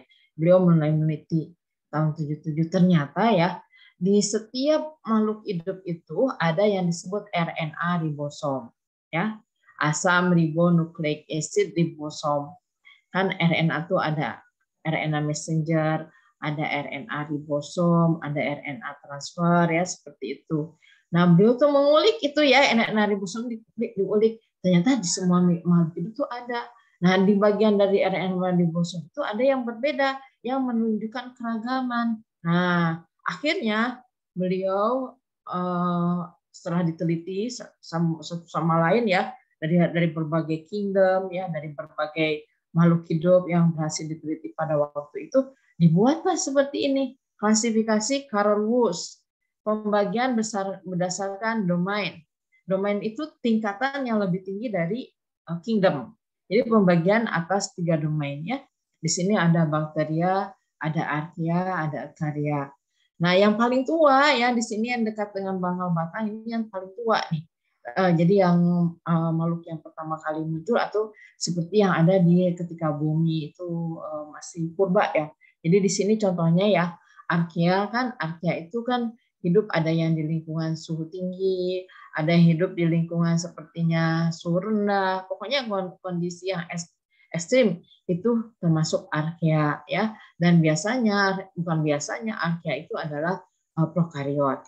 Bakteria juga prokariot ya, tadi tidak memiliki membran inti. Dan ini uh, cabang tersendiri ya, tapi hmm, ini mengelompok ya bakteria, kemudian archaea dan yang kanan yang paling kanan adalah eukarya mulai dari hewan, fungi, pan, uh, tanaman ya, siliata, flagellata dan seterusnya. Jadi demikian pembagian berdasarkan uh, domain uh, oleh Carl Woese. Jadi berdasarkan uh, ribosomal RNA. Lanjut. Nah, ternyata ya uh, contohnya ini ya apa namanya itu R, RNA ribosom itu gen RNA ribosom disebut R kecil ya ditulisnya R kecil RNA besar itu bersifat universal. Tadi ada di semua makhluk hidup dan uh, fungsinya itu identik ya identik ya seperti itu. Kemudian ada eh, digunakan sebagai kronometer molekular. Nah di sini sebut kronometer molekular tuh ya kan eh, kalau yang DNA ya RNA itu kan terdiri dari basa ya cuma empat ya adenin, kemudian ada timin, guanin, sitosin. Kalau timin eh, digantikan urasil ya, nah, seperti itu. Eh, pada apa namanya padanya pada RNA. Nah ternyata uh, apa namanya pengamat penelitian itu sangat berkembang ya sehingga database-nya itu database global itu bisa diakses melalui internet. Nah contohnya begini ya. Dari uh, perbedaan saja. Di sini AUU AUU sama ya. GG GG CC CC UAA di sini jadi UU eh ternyata sampelnya berbeda ya. Y sampel Y dengan sampel X seperti itu. Ini perbedaan cuma di uh, dua uh, dua bahasa. Dua bahasa atau dua nukleotida ya. Nah kalau ini dari awal nih. AGG, GCCA. Ini contoh ya, ini contoh ilustrasi kan banyak ya genom tuh banyak. Ini contoh aja seperti ini. Ternyata uh, ini nanti uh, dari genom ini susunan yang berbeda. Ih uh, sampelnya pun uh, apa dari sampel itu nanti Eh, jenis organismenya berbeda. Nah, jadi sangat mudah ya eh, menurut uh, Carl Woese pengelompokan pengelompokan organisme seperti itu. Jadi berdasarkan gen ribosomal RNA. Nah, kalau bakteri biasanya menggunakan gen 16 S rRNA. 16 ukurannya 16 ya ada ukuran 16 ada ukuran 18 dan ada ukuran yang lain. S itu singkatan dari Spadberg. S P E D B E R G Spadborg. Jadi satuan uh, sentrifugasi ya ada ukuran 16. Nah, kalau untuk uh, mengidentifikasi eukariot bukan menggunakan gen 16S rRNA tapi menggunakan 18S rRNA ya. Itu jadi eh, jadi apa namanya uh, untuk menganalisis keragaman di eukariot dan uh, prokariot. Lanjut. Nah, kemudian bakteria itu ya, itu kan setelah diteliti itu macam-macam nih ada film, ya ini perbandingannya berdasarkan film, ada Aquifax, ada Thermodisopobacterium, ada Proteobacteria, ya ada Firmicute, ya Firmicute, ada bakteri gram positif, Proteobacteria ini gram negatif dan macam-macam. Nah, kemudian gram positif juga ada yang kandungan uh, gizinya tinggi, ada logisi. Pokoknya sih ini bukan untuk dihafal. Di biologi juga kami tidak menyarankan mahasiswa menghafal buta. Jadi biologi itu bukan hafalan yang membosankan, tapi biologi itu diresapi. Eh, Anda tahu ini, nih, ini perbedaan gram positif dan gram negatif itu seperti apa? Oh, gram positif memiliki lapisan peptidoglikanya tebal, sedangkan gram negatif itu gram uh, uh, lapisan peptidoglikanya tipis. Apa akibatnya kalau yang tebal dan tipis itu? Oh, yang tebal itu nanti ketika diberikan pewarna utama akan menyerap apa namanya itu uh, pewarna utama kristal violet, sedangkan kalau gram negatif itu uh, apa namanya itu uh, tidak menyerap uh, pewarna utama karena terhapus oleh alkohol seperti itu. Jadi jadi bukan dihafal seperti itu membosankan ya. Saya sendiri tidak hafal itu contohnya tinggal sekarang dibuka aja ya bijis manual atau buku-buku yang terkait. Baik kita lanjut. Nah, ternyata semakin berkembang ya uh, apa namanya itu bahwa bakteri itu bukan hanya ada di uh, di luar lingkungan, ada juga di tubuh di tubuh kita ya. Sebenarnya manusia itu mungkin uh, pernah mendengarkan ya Profesor Antonius menjelaskan bahwa tubuh manusia itu walaupun satu tubuh tapi mikroorganismenya sampai miliaran seperti itu ya. Nah, ternyata kita bisa lihat tuh di manusia itu ya. Ini adalah pengelompokan mikroorganisme. Ada yang di tubuhnya itu di kulitnya itu ada Staphylococcus aureus Ya, padahal Staphylococcus itu ada yang patogen ya, yang multi-resistant Staphylococcus aureus itu susah sekali diberantas. Ada mungkin nanti ada yang tidak memiliki Staphylococcus aureus, ada yang memiliki sepertinya orang yang selalu wanita keputihan saja ya. Banyak kandida albicans-nya di uh, di bagian tertentu ya di wanita seperti itu ya. Tapi ada yang sehat. Nah, itu berbeda. Nah, itu ternyata begini ya kalau dipelajari di hewan. Eh, mikrobiota, kemudian inang, inang ya, kemudian di sini diet. Jadi makanan itu menentukan kesehatan dari uh, inang ya dan mikrobiota. Nah, kalau seandainya kita suka yang pedas-pedas ya, makanan sepertinya yang asam, apa yang terjadi? Di perut kita ya perut kita seharusnya ada bakteri-bakteri baik yang menghasilkan vitamin. Kan bakteri-bakteri itu bisa menghasilkan vitamin bisa menghasilkan senyawa-senyawa yang imunitas tubuh kita meningkat. Atau kita biasa sebenarnya memakan uh, pewarna zat warna memakan uh, apa namanya itu makanan yang berbahaya. Ini keseimbangan ini akan terganggu. Jadi kalau terjadi keseimbangan antara mikrobiota ya inang dan diet kandungan nutrisinya stabil maka terjadi kesetimbangan jadi sehat. Ini contohnya pada hewan. Ini mempelajari eh, apa namanya mikroorganisme yang di saluran pencernaan. Nah, kalau terjadi sepertinya tidak seimbang ya, dietnya tidak teratur, asal-asalan hewannya diberi makan apa. Kadang-kadang mungkin ini cacing cacing itu dimakan eh cacing selain cacing ditambah juga mungkin apa ya. Mungkin dia di tempat lingkungannya ada cat, di situ cat-cat dimakan ya, itu juga berbahaya ya di sini. Akan mengganggu mikrobiota. Akhirnya si inangnya jadi sakit. Sama dengan halnya kita. Jadi eh, kita bisa menjaga tubuh kita sehat yaitu tadi ada keseimbangan antara bakteri yang khusus kemudian dengan kita tubuh kita ya. Kemudian ada dengan apa tadi makanan yang kita makan. Lanjut ya ini inilah ini sepintas Nah, ini saya kebetulan penelitian ya tentang bakteri penambat nitrogen. Jadi di uh, bintil akar uh, legum itu ada bakteri-bakteri di sini uh, rhizobium, ada rhizobium ya. Sebenarnya itu bakteri tanah, tapi dengan melalui apa namanya tuh uh, melalui uh, tadi perakaran ya. Kemudian dia masuk menembus ya uh, ke perakaran dari legum itu, contohnya di sini kedelai dan ada di apa ditempatkan di bintil akar ya, bintil akar atau nodul. Nah, uh, ketika ada di bintil akar itu ya si apa namanya itu uh, bakteri rhizobium atau bradyrhizobium itu dia harus dalam keadaan anaerob. Karena apa? Karena bakteri uh, karena enzim nitrogenase itu ya tidak aktif kalau ada oksigen. Jadi makanya diselubungi oleh bintil. Berarti bintil juga menjaga supaya oksigen tidak masuk seperti itu. Nah, kemudian ada penandanya, ada leg hemoglobin. Leg hemoglobin itu sebenarnya dihasilkan oleh oleh uh, tumbuhan itu ya yang uh, yang menjaga supaya uh, si bintil itu nanti bisa menghasilkan nitrogenase eh ya dia menghasilkan nitrogenase sehingga N2 dari udara diubah menjadi NH3. Nah, sebenarnya menguntungkan sekali ya. Jadi NH3 itu sebagai sumber N. Nah, sebagai contoh seperti ini nih. Kami melakukan penelitian ini bukunya ini. ini sebenarnya buku ini bisa juga ya di-download gratis eh, di uh, di lewat internet. Jadi sini aplikasi bakteri pada tanah sebelum ke lapangan. Jadi kami lakukan secara pilot ya. Ini tanaman tidak diberikan apa namanya tuh tidak diberikan uh, pemupukan ya, tidak diberikan pemupukan, tidak diberikan bakteri. Nah, yang ini diberikan bakteri, bakteri penambat nitrogen, mulai melihat kelihatannya tumbuh lebih bagus ya. Nah, kemudian Apalagi kalau seandainya ditambahkan bakteri penambat uh, nitrogen tadi ya, diberikan kompos. Karena apa? Karena ini pH-nya pH empat setengah ya, pH masam. Jadi uh, tanahnya sendiri tidak subur.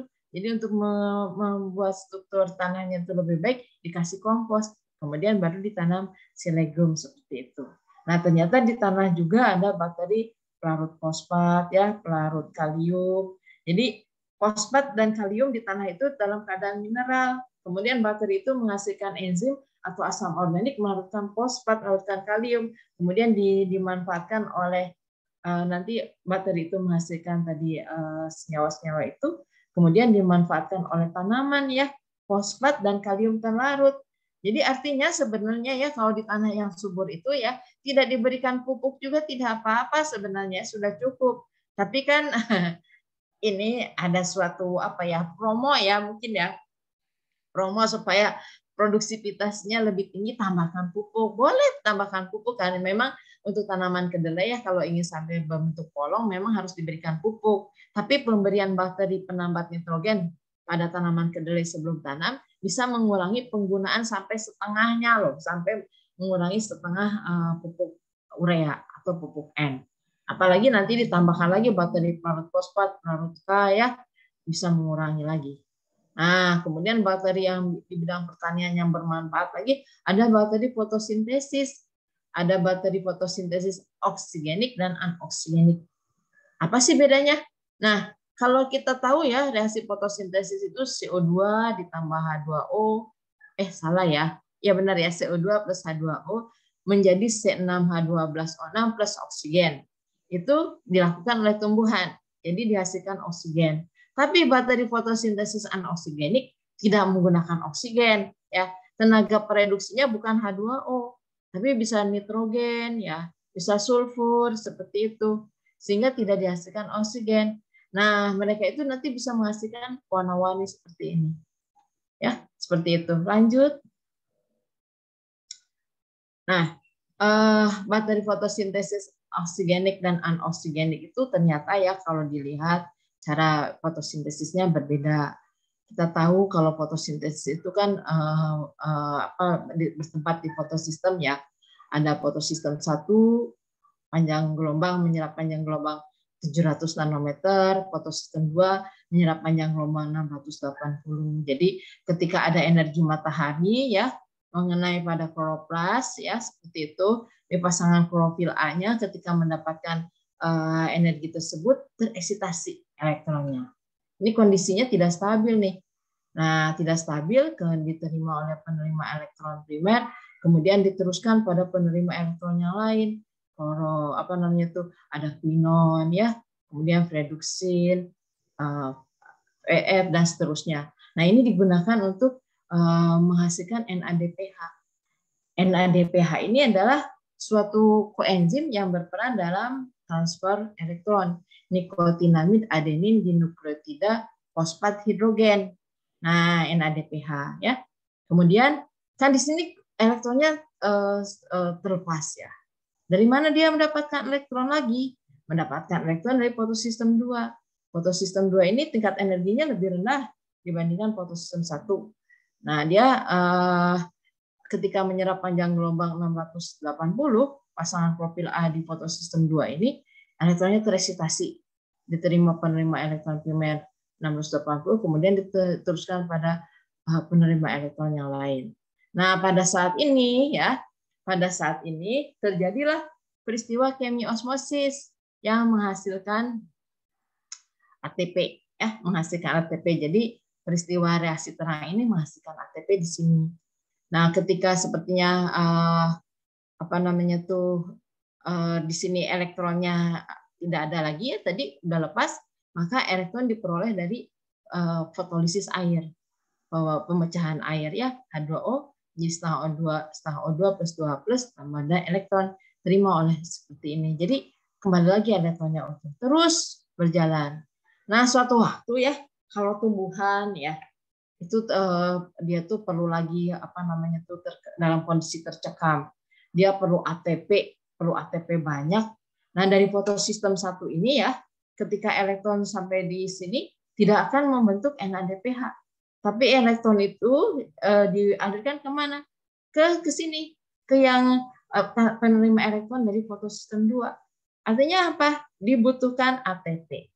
Ya. Jadi di alam sendiri ya, ketika kondisi kurang energi ya, itu bisa dihasilkan ATP.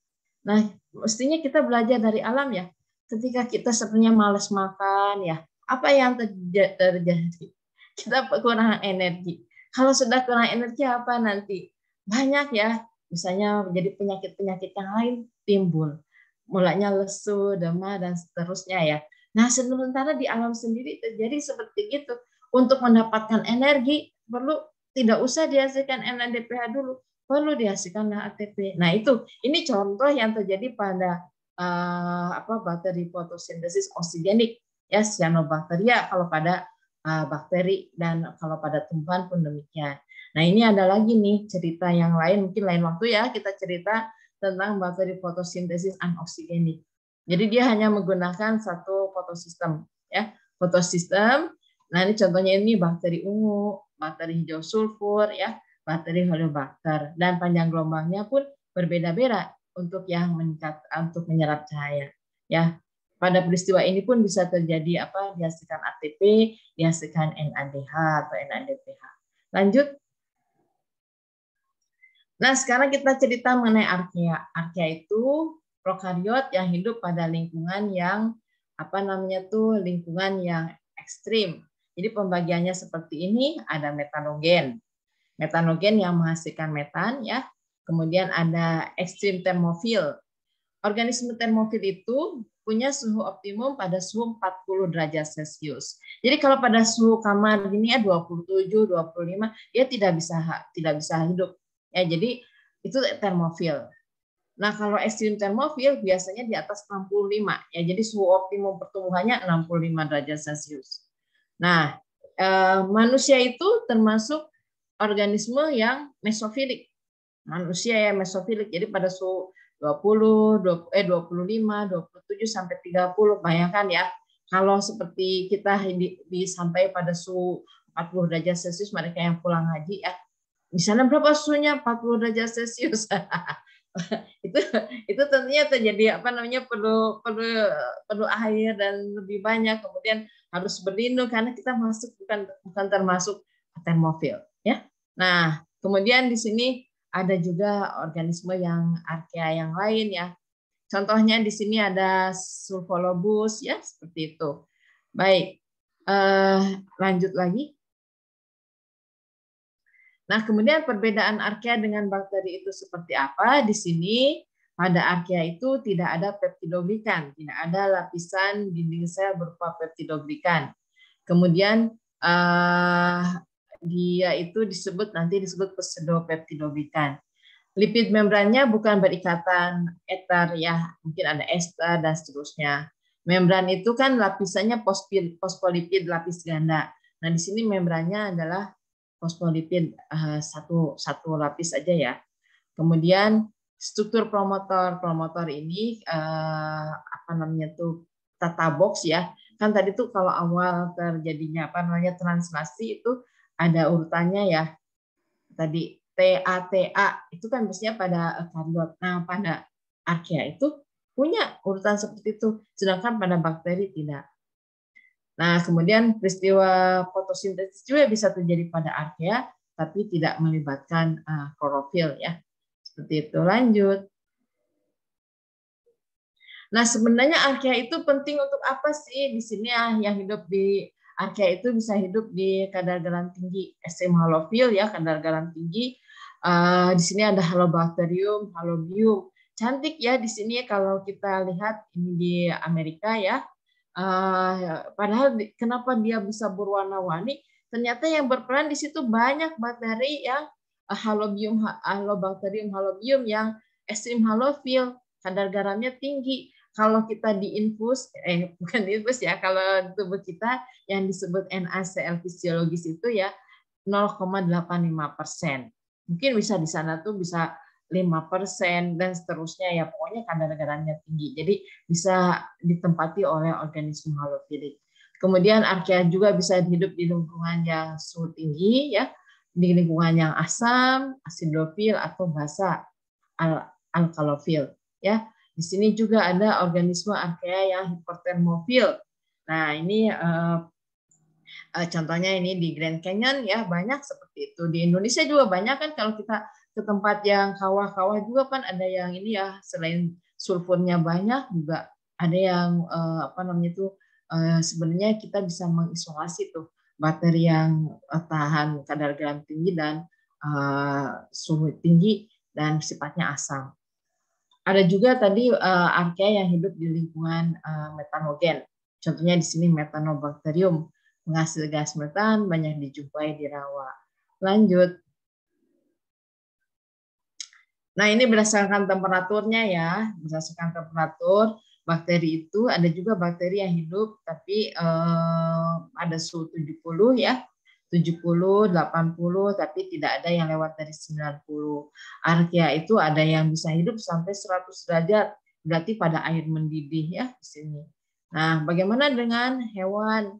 hewan di sini uh, ikan ada yang sampai 38 ya ini uh, temperatur tertinggi. Tanaman sampai 45 ya, seperti itu. Jadi kalau tanaman pada suhu 50 derajat Celcius pasti ya nanti mengalami kematian tidak bisa melakukan proses fotosintesis. Kemudian ada tadi mikroorganisme eukariot ya seperti ini. Kemudian ada cyanobacter. Cyanobacteria uh, ini pun demikian ya bisa uh, pada suhu 70 sampai 73. Lanjut.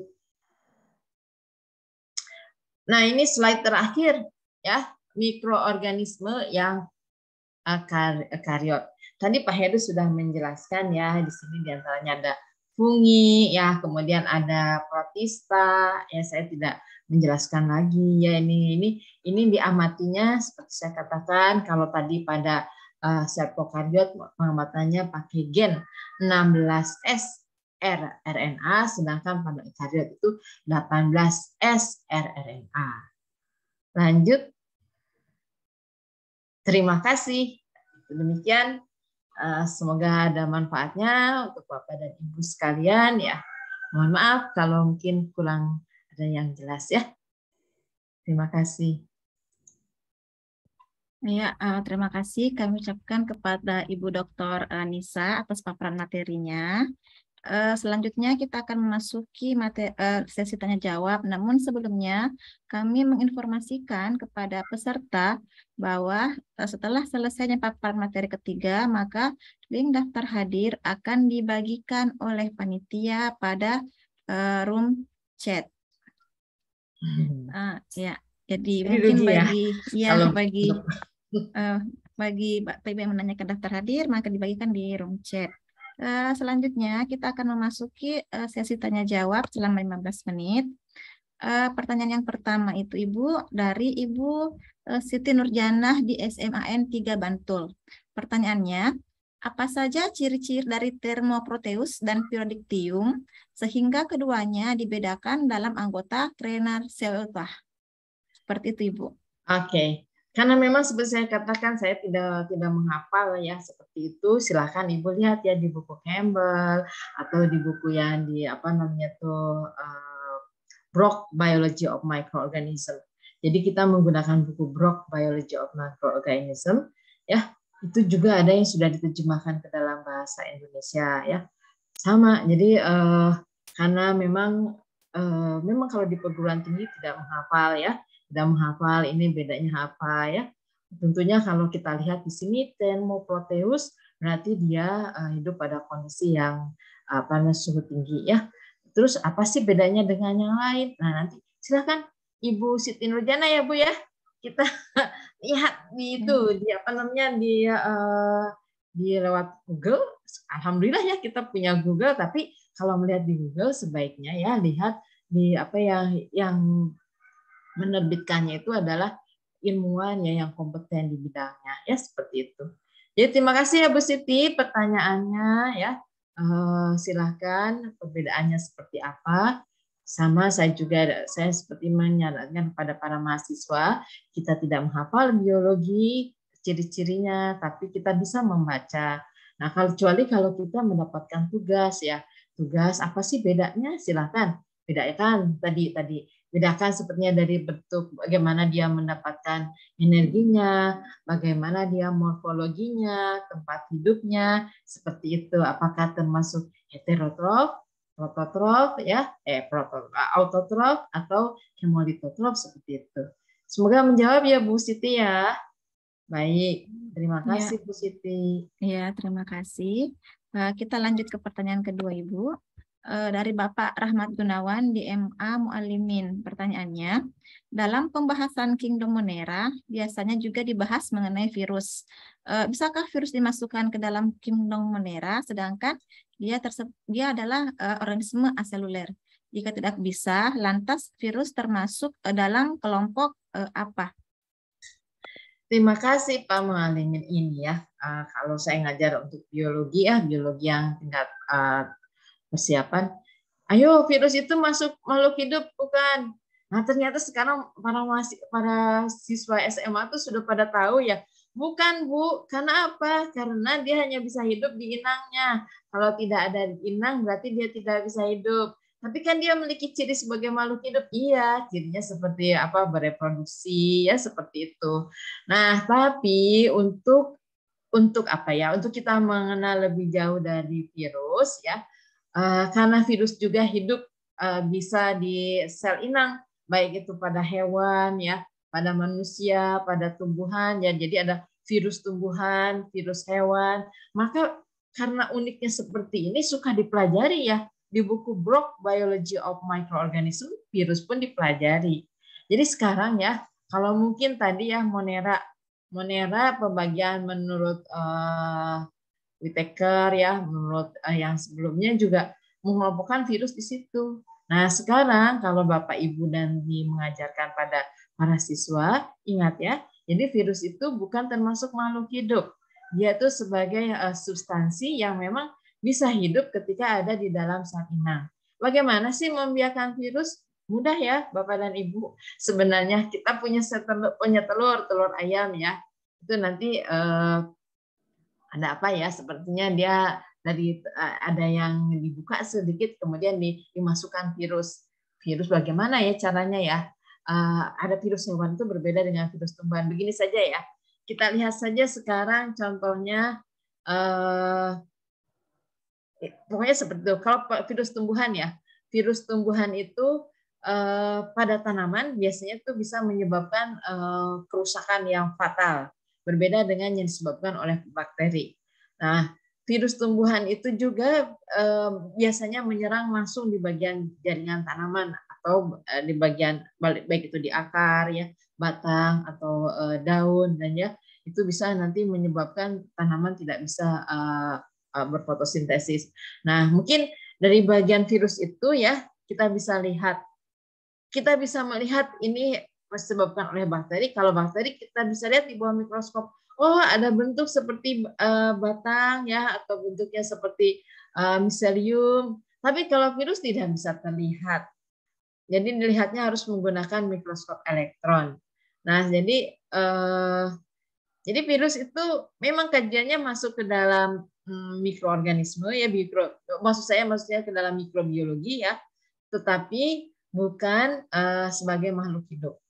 Ada mikroorganisme yang disebut apa namanya itu bakteri tetapi menjadi inangnya virus. Contohnya bakteriofage ya, virus yang menyerang bakteri. Nah, itu mungkin Eh, menurut para ilmuwan mikrobiologi sudah aja ya karena banyak virus juga yang menyerang bakteri pelajari saja di mikrobiologi tapi ingat bapak dan ibu ya jangan masukkan eh, virus ke dalam eh, apa namanya tuh domain ya domain dari prokariot bukan virus itu adalah tadi dia tidak bisa hidup kalau tidak ada di inang ya seperti itu ya Pak ya, Pak Mualimin, terima kasih. Ya, pertanyaan uh, selanjutnya Ibu. Ini dari Ibu Hanik Laila di MA Darul Fikri Ponorogo.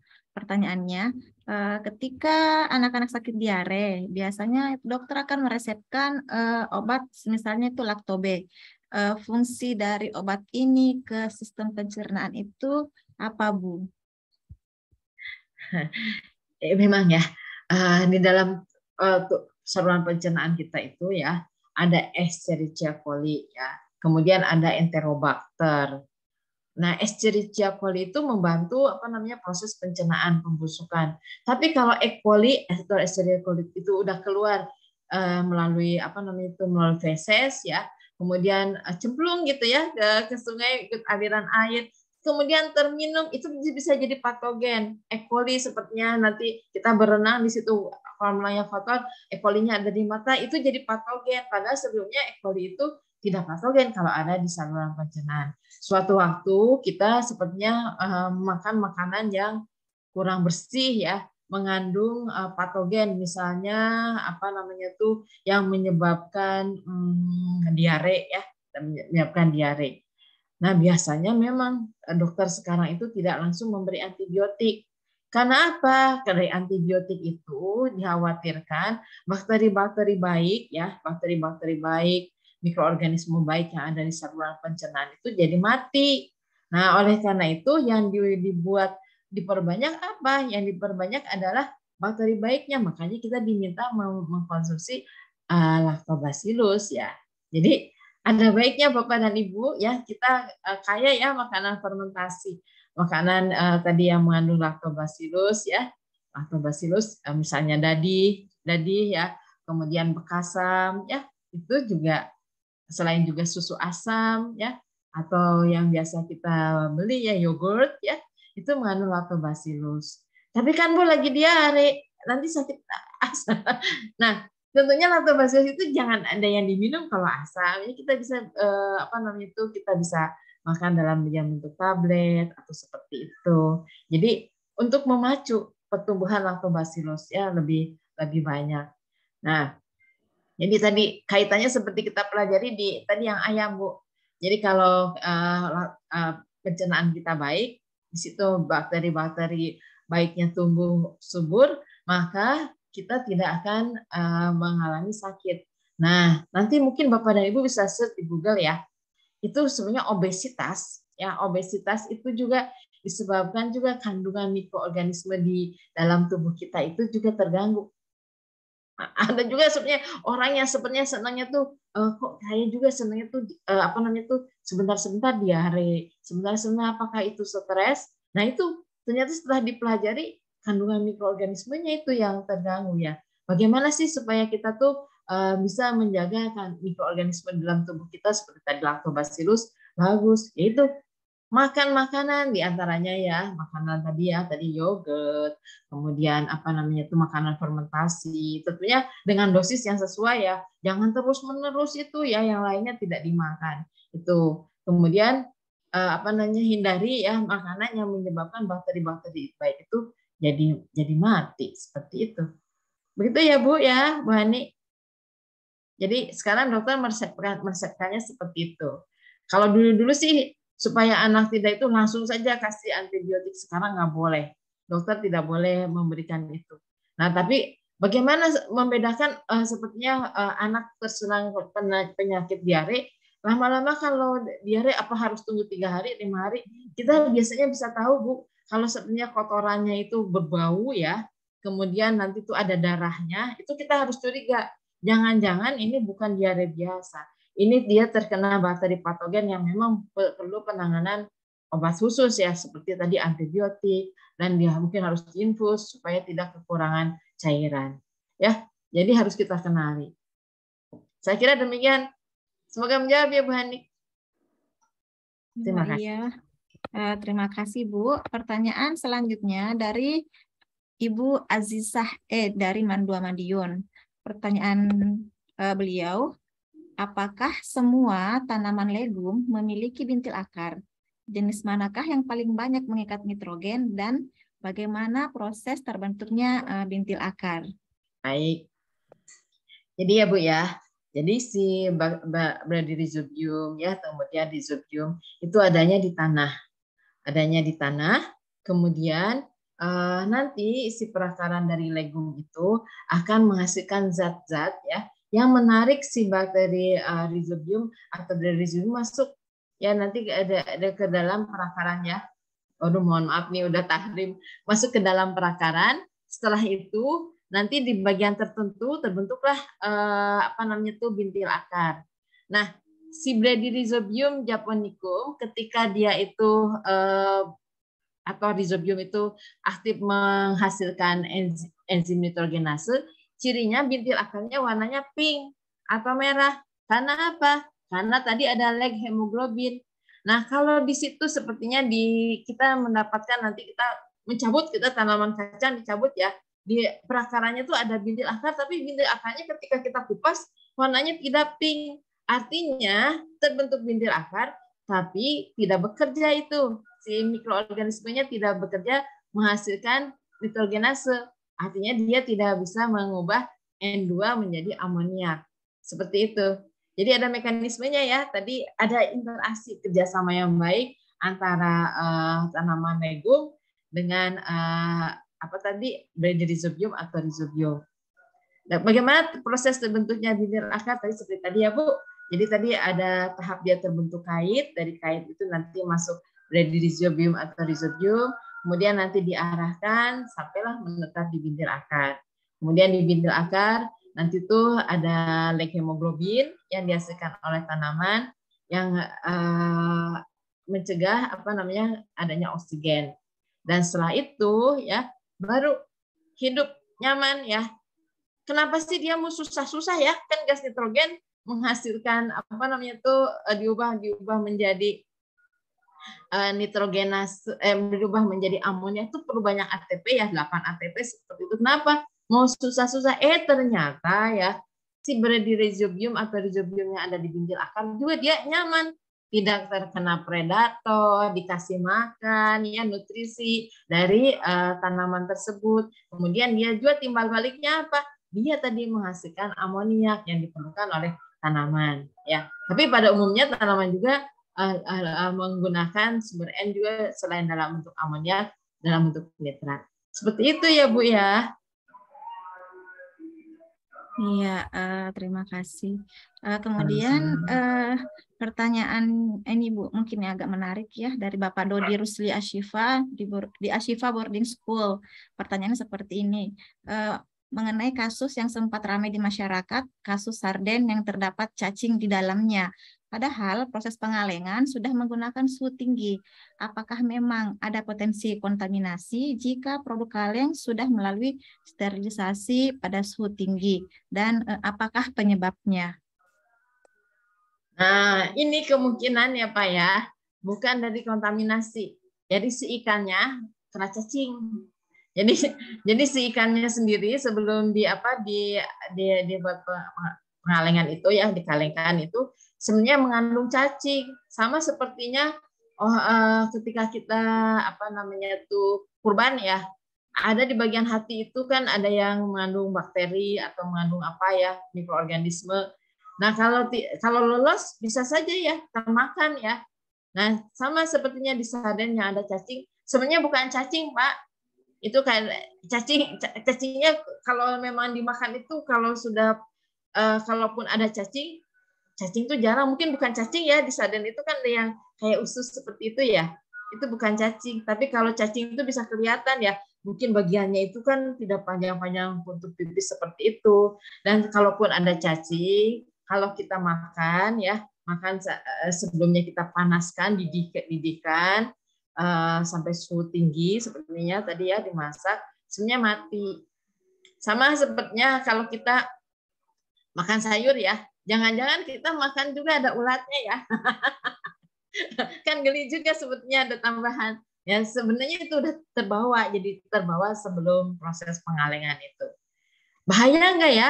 Ya eh, kalau biasanya biasanya sih kalau memang dia itu dalam bentuk eh, apa tidak menghasilkan kista ya tadi kan ada ya mikroorganisme yang menghasilkan bentuk yang dorman misalnya menghasilkan endospora atau dia menghasilkan kista. Kalau bakterinya patogen menghasilkan kondisi seperti itu, ketika dipanaskan kemudian kita makan itu berbahaya, Pak. Seperti itu ya. Jadi yang patogen yang menghasilkan kista atau endospora seperti Bacillus anthracis akan berbahaya. Demikian. Terima kasih. Terima kasih. Uh, pertanyaan satu lagi ya Bu, boleh? Boleh, silahkan. Oh iya. Uh, ini dari Ibu Ismayanti Soleha. Eh, bagaimana pengelompokan untuk mikroorganisme lokal yang biasa dibudidayakan para petani untuk pupuk. Ah ya. Nah, biasanya mikroorganisme lokal itu ya Bu ya sudah diketahui. Jadi ada bakteri-bakteri yang memang uh, dia itu berada di daerah sekitar pelakaran. Daerah sekitar pelakaran atau disebut rhizobacteria ya bakteri-bakteri tadi eh, penambat nitrogen, bakteri pelarut fosfat, pelarut K, jadi punya fungsinya.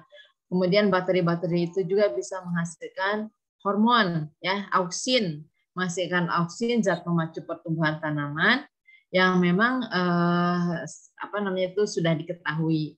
Nah, selain bakteri ada juga eh, apa namanya itu cendawan ya, cendawan kapang, psikoderma.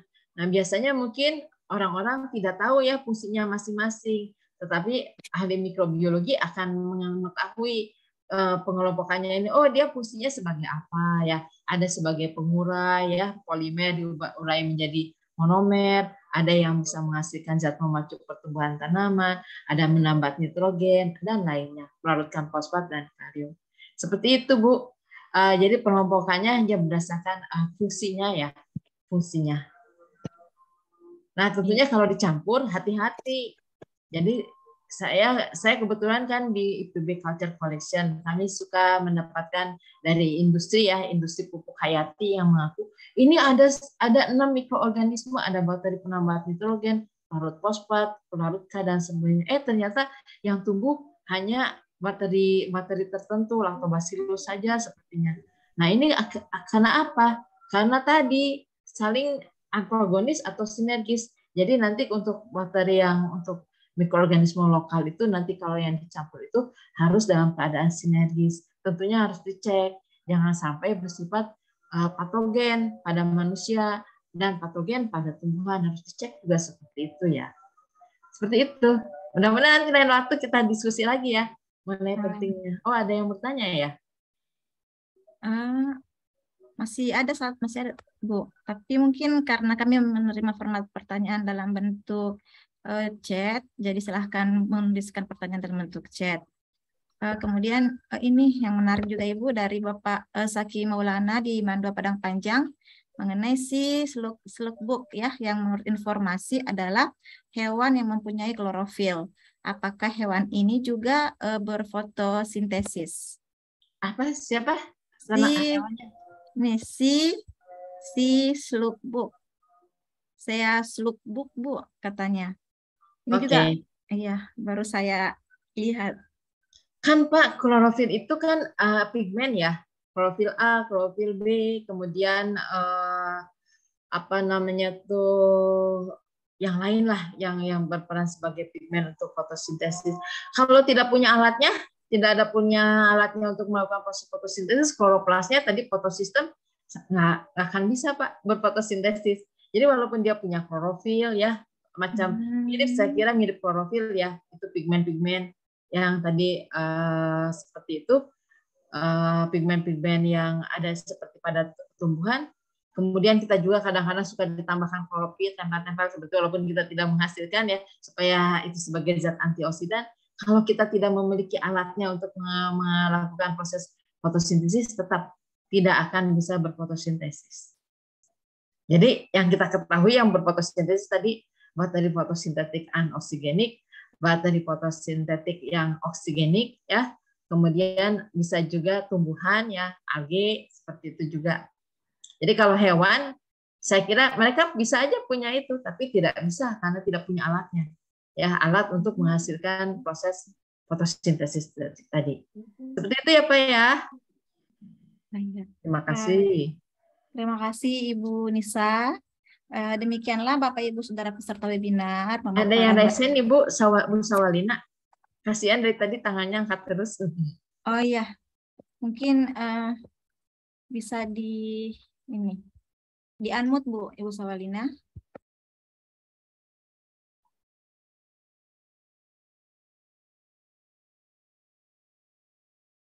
Oh ini ada pertanyaan nih satu lagi ya. Dari Ibu Hasbiah dari uh, Iya Ulumuddin Banteng Sulawesi Selatan. Bu di dalam tiga manusia apakah ada mikroorganisme banyak Bu. Apalagi sepertinya eh, kita tuh karena baru kena penyakit diare ya. Itu pasti selain E. coli ya ada enterobacter bisa juga nanti ada virus ya. Virus tadi yang bisa menyebabkan diare. Ada juga nanti juga mikroorganisme yang apa namanya tuh yang lainnya yang biasanya uh, patogen ya berbahaya. Jadi hindari.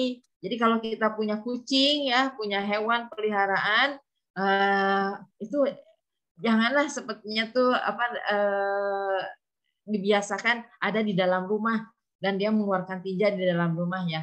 Kita tidak tahu di situ mungkin dia membawa patogen ya berbahaya untuk kita. Walau, uh, kalau bisa sih jauhkan karena dari hewan itu yang bisa menyebabkan zoonosis jadi uh, biasanya penyakit itu ada di hewan, ternyata bisa juga kita uh, jadi sakit karena tertular oleh uh, apa tadi ada terbawa oleh hewan tadi ya sumber penyakitnya. Seperti itu. Nah, yang masih ada yang satu lagi Bu dari Ibu Muslihah. Ini ada banyak pertanyaan rupanya, sementara kita dibatasi waktu, jadi mungkin yang terakhir eh, Bapak Ibu okay. ya. Jadi apakah virus corona bisa dihambat pertumbuhannya dengan menggunakan antibakterial? Dan benarkah virus corona bisa hidup di benda mati, misalnya droplet atau air ludah? Ya Bu, kalau virus corona itu tidak bisa dihambat oleh apa tadi uh, antibakteri karena kan tadi uh, corona. Nah, hanya virus corona itu seperti virus yang lainnya dia memiliki serubung protein, Bu, serubung protein.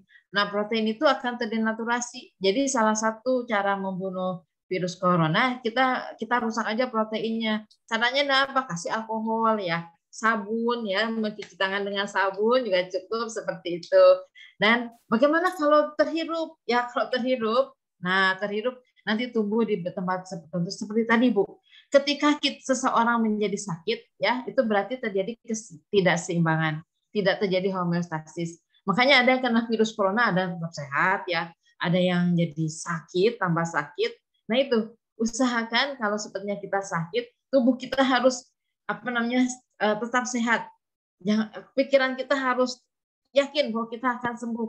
Karena apa? Karena itu kelemahan itu bisa menyebabkan homeostasis terganggu. Akhirnya kita tambah sakitnya lebih parah. Nah, eh, Apakah virus itu bisa ada di, di droplet atau air ludah? Bisa, Bu. Tapi tidak bisa tahan lama karena itu bukan uh, makhluk hidup ya. Bisa bisa di mana-mana di tempat mana. Jangan terlalu khawatir. Jadi kita bisa tadi menghindari virus eh, karena dia punya subung protein ya atau juga uh, untuk yang corona itu itu aja denaturasi saja si protein protein sering kita cuci tangan pakai sabun ya. Nah, kalau pakai semprot-semprot pakai alkohol sekali saja, jangan terlalu sering. Karena kalau memang kita terlalu bersih ya, bentar-bentar semprot alkohol, nanti kan permukaan kulit kita juga jadi kering ya. kurang jadi nggak lembab seperti itu. Kemudian terlalu bersih jadi nanti kita justru jadi tambah lebih apa namanya itu uh, ketergantungan ya ketergantungan. Seperti itu. Semoga ya kita semuanya apa namanya paham uh, tidak terlalu takut uh, dengan hal-hal yang seperti itu. Ikuti saja prosedur ya. Ketika kita di tempat banyak orang ya ikuti prosedur walaupun sekarang corona sudah tidak yaitu sering mencuci tangan pakai air dan sabun, kemudian uh, pakai masker, takutnya kan daya tahan tubuh kita lagi lemah, ya masuk ke si virus corona itu ya ke dalam tubuh, kemudian dia berkembang biak. Tapi ingat ya Bu ya, uh, imunitas kita tingkatkan. Kalau imunitas kita tingkatkan, pikiran kita tenang, yakin kita akan sembuh, insya Allah ya. Si virusnya akan bisa dihambat. Demikian. Ya. Uh, terima kasih Ibu. Demikianlah Bapak Ibu pemaparan materi dari Ibu Nisa. Uh, sedikit kesimpulan dari materi Ibu yaitu uh, awalnya pembagian makhluk hidup itu berdasarkan beberapa karakteristik ya dibagi ke dalam lima kingdom yaitu karakteristik tipe selnya, organisasi selulernya, keberadaan dinding selnya, dan cara memperoleh nutrisi. Kemudian berdasarkan perkembangan biologi molekuler, maka diperolehlah hasil penelitian yang menunjukkan adanya keragaman RNA, sehingga membagi makhluk hidup menjadi tiga domain, yaitu domain arke, domain bakteria, dan domain eukariot. Nah, yang menarik adalah ini mengenai adanya keseimbangan antara mikrobiota dan makanan pada tubuh inang. Salah satunya dikatakan tadi bahwa ternyata obesitas itu terjadi karena adanya ketidakseimbangan mikroorganisme di dalam di uh, tubuh kita ya salah satunya. Uh, iya, uh, terima kasih banyak Ibu Dr. Nisa atas uh, ilmu yang diberikan kepada uh, kami hari ini. Sungguh betul-betul menambah hasanah ilmu pengetahuan uh, bagi kami. Selamat melanjutkan uh, aktivitasnya. Terima kasih. Terima kasih. Sampai jumpa lagi Bapak dan Ibu. Assalamualaikum warahmatullahi wabarakatuh. Waalaikumsalam warahmatullahi wabarakatuh. Salam sehat selalu. Nanti ini kebetulan saya baru share ini ya PPT-nya. Mungkin juga tadi ada ya nanti dari panitia ya. Iya Ibu. Apakah ada proses ya Bu? Ada Bu. Ada selamat. Ah, selamat menjalankan proses. Kalau gitu saya pamit ya. Praktikumnya ya. belum selesai. Ya. Terima kasih. Terima kasih Bu. Ya. Iya. Assalamualaikum. Waalaikumsalam warahmatullahi Nah, eh, Bapak Ibu peserta acara selanjutnya yaitu eh, post test. Bapak Ibu dapat mengikuti post test selama lima menit ke depan melalui link yang tertera di layar, dapat melakukan scan barcode, atau dapat juga mengakses pada link yang di-share panitia di room chat. Kepada Bapak Ibu, kami persilahkan mengerjakan post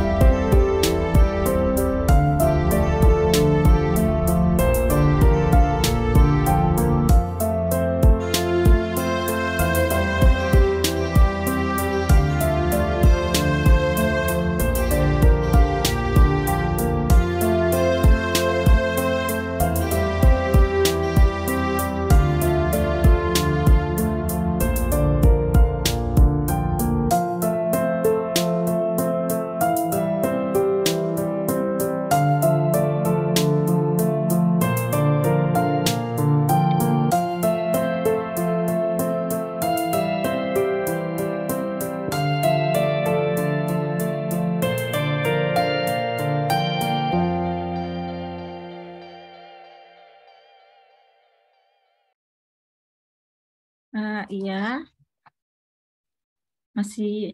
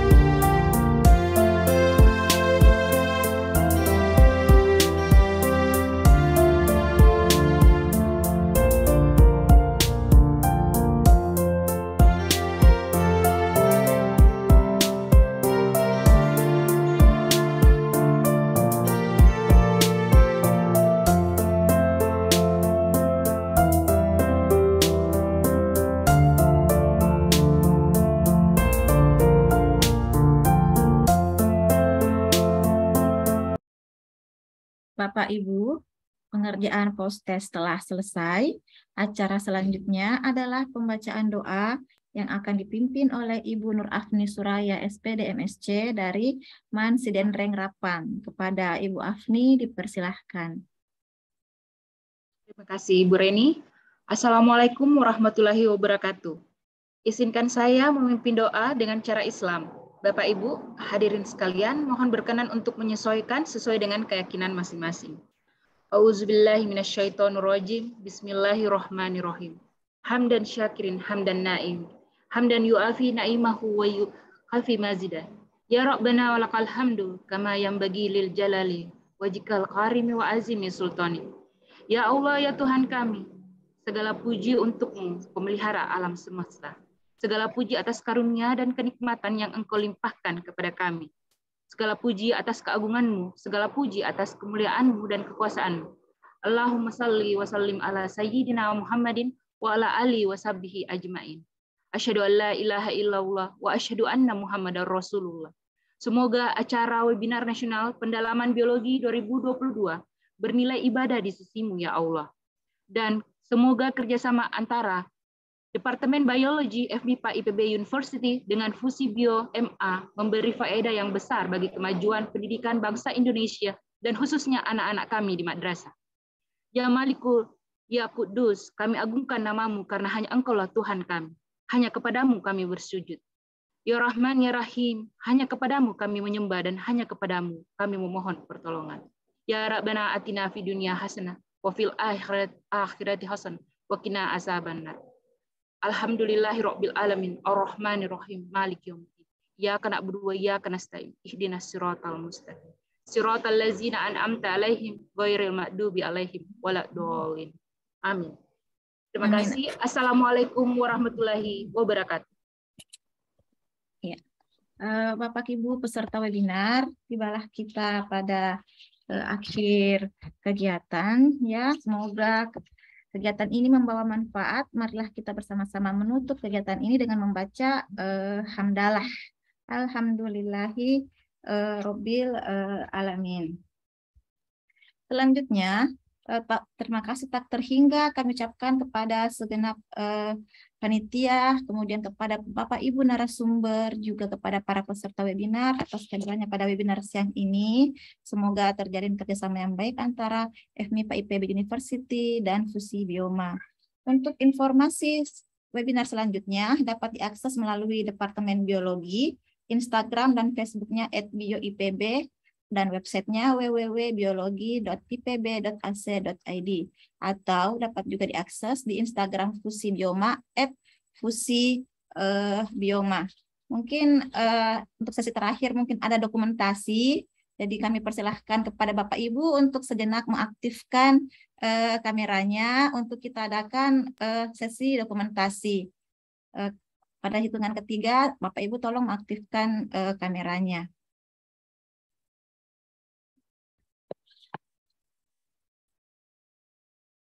Ya. Jadi uh, silahkan Bapak uh, panitia untuk mengcapture ya pada hitungan uh, ketiga. Satu, dua, tiga.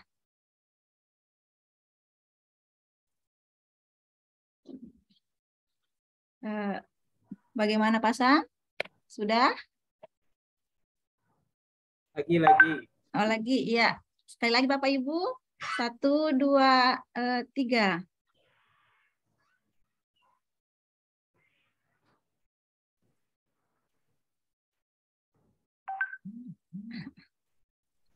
Iya, eh, terima kasih banyak Bapak Ibu semua.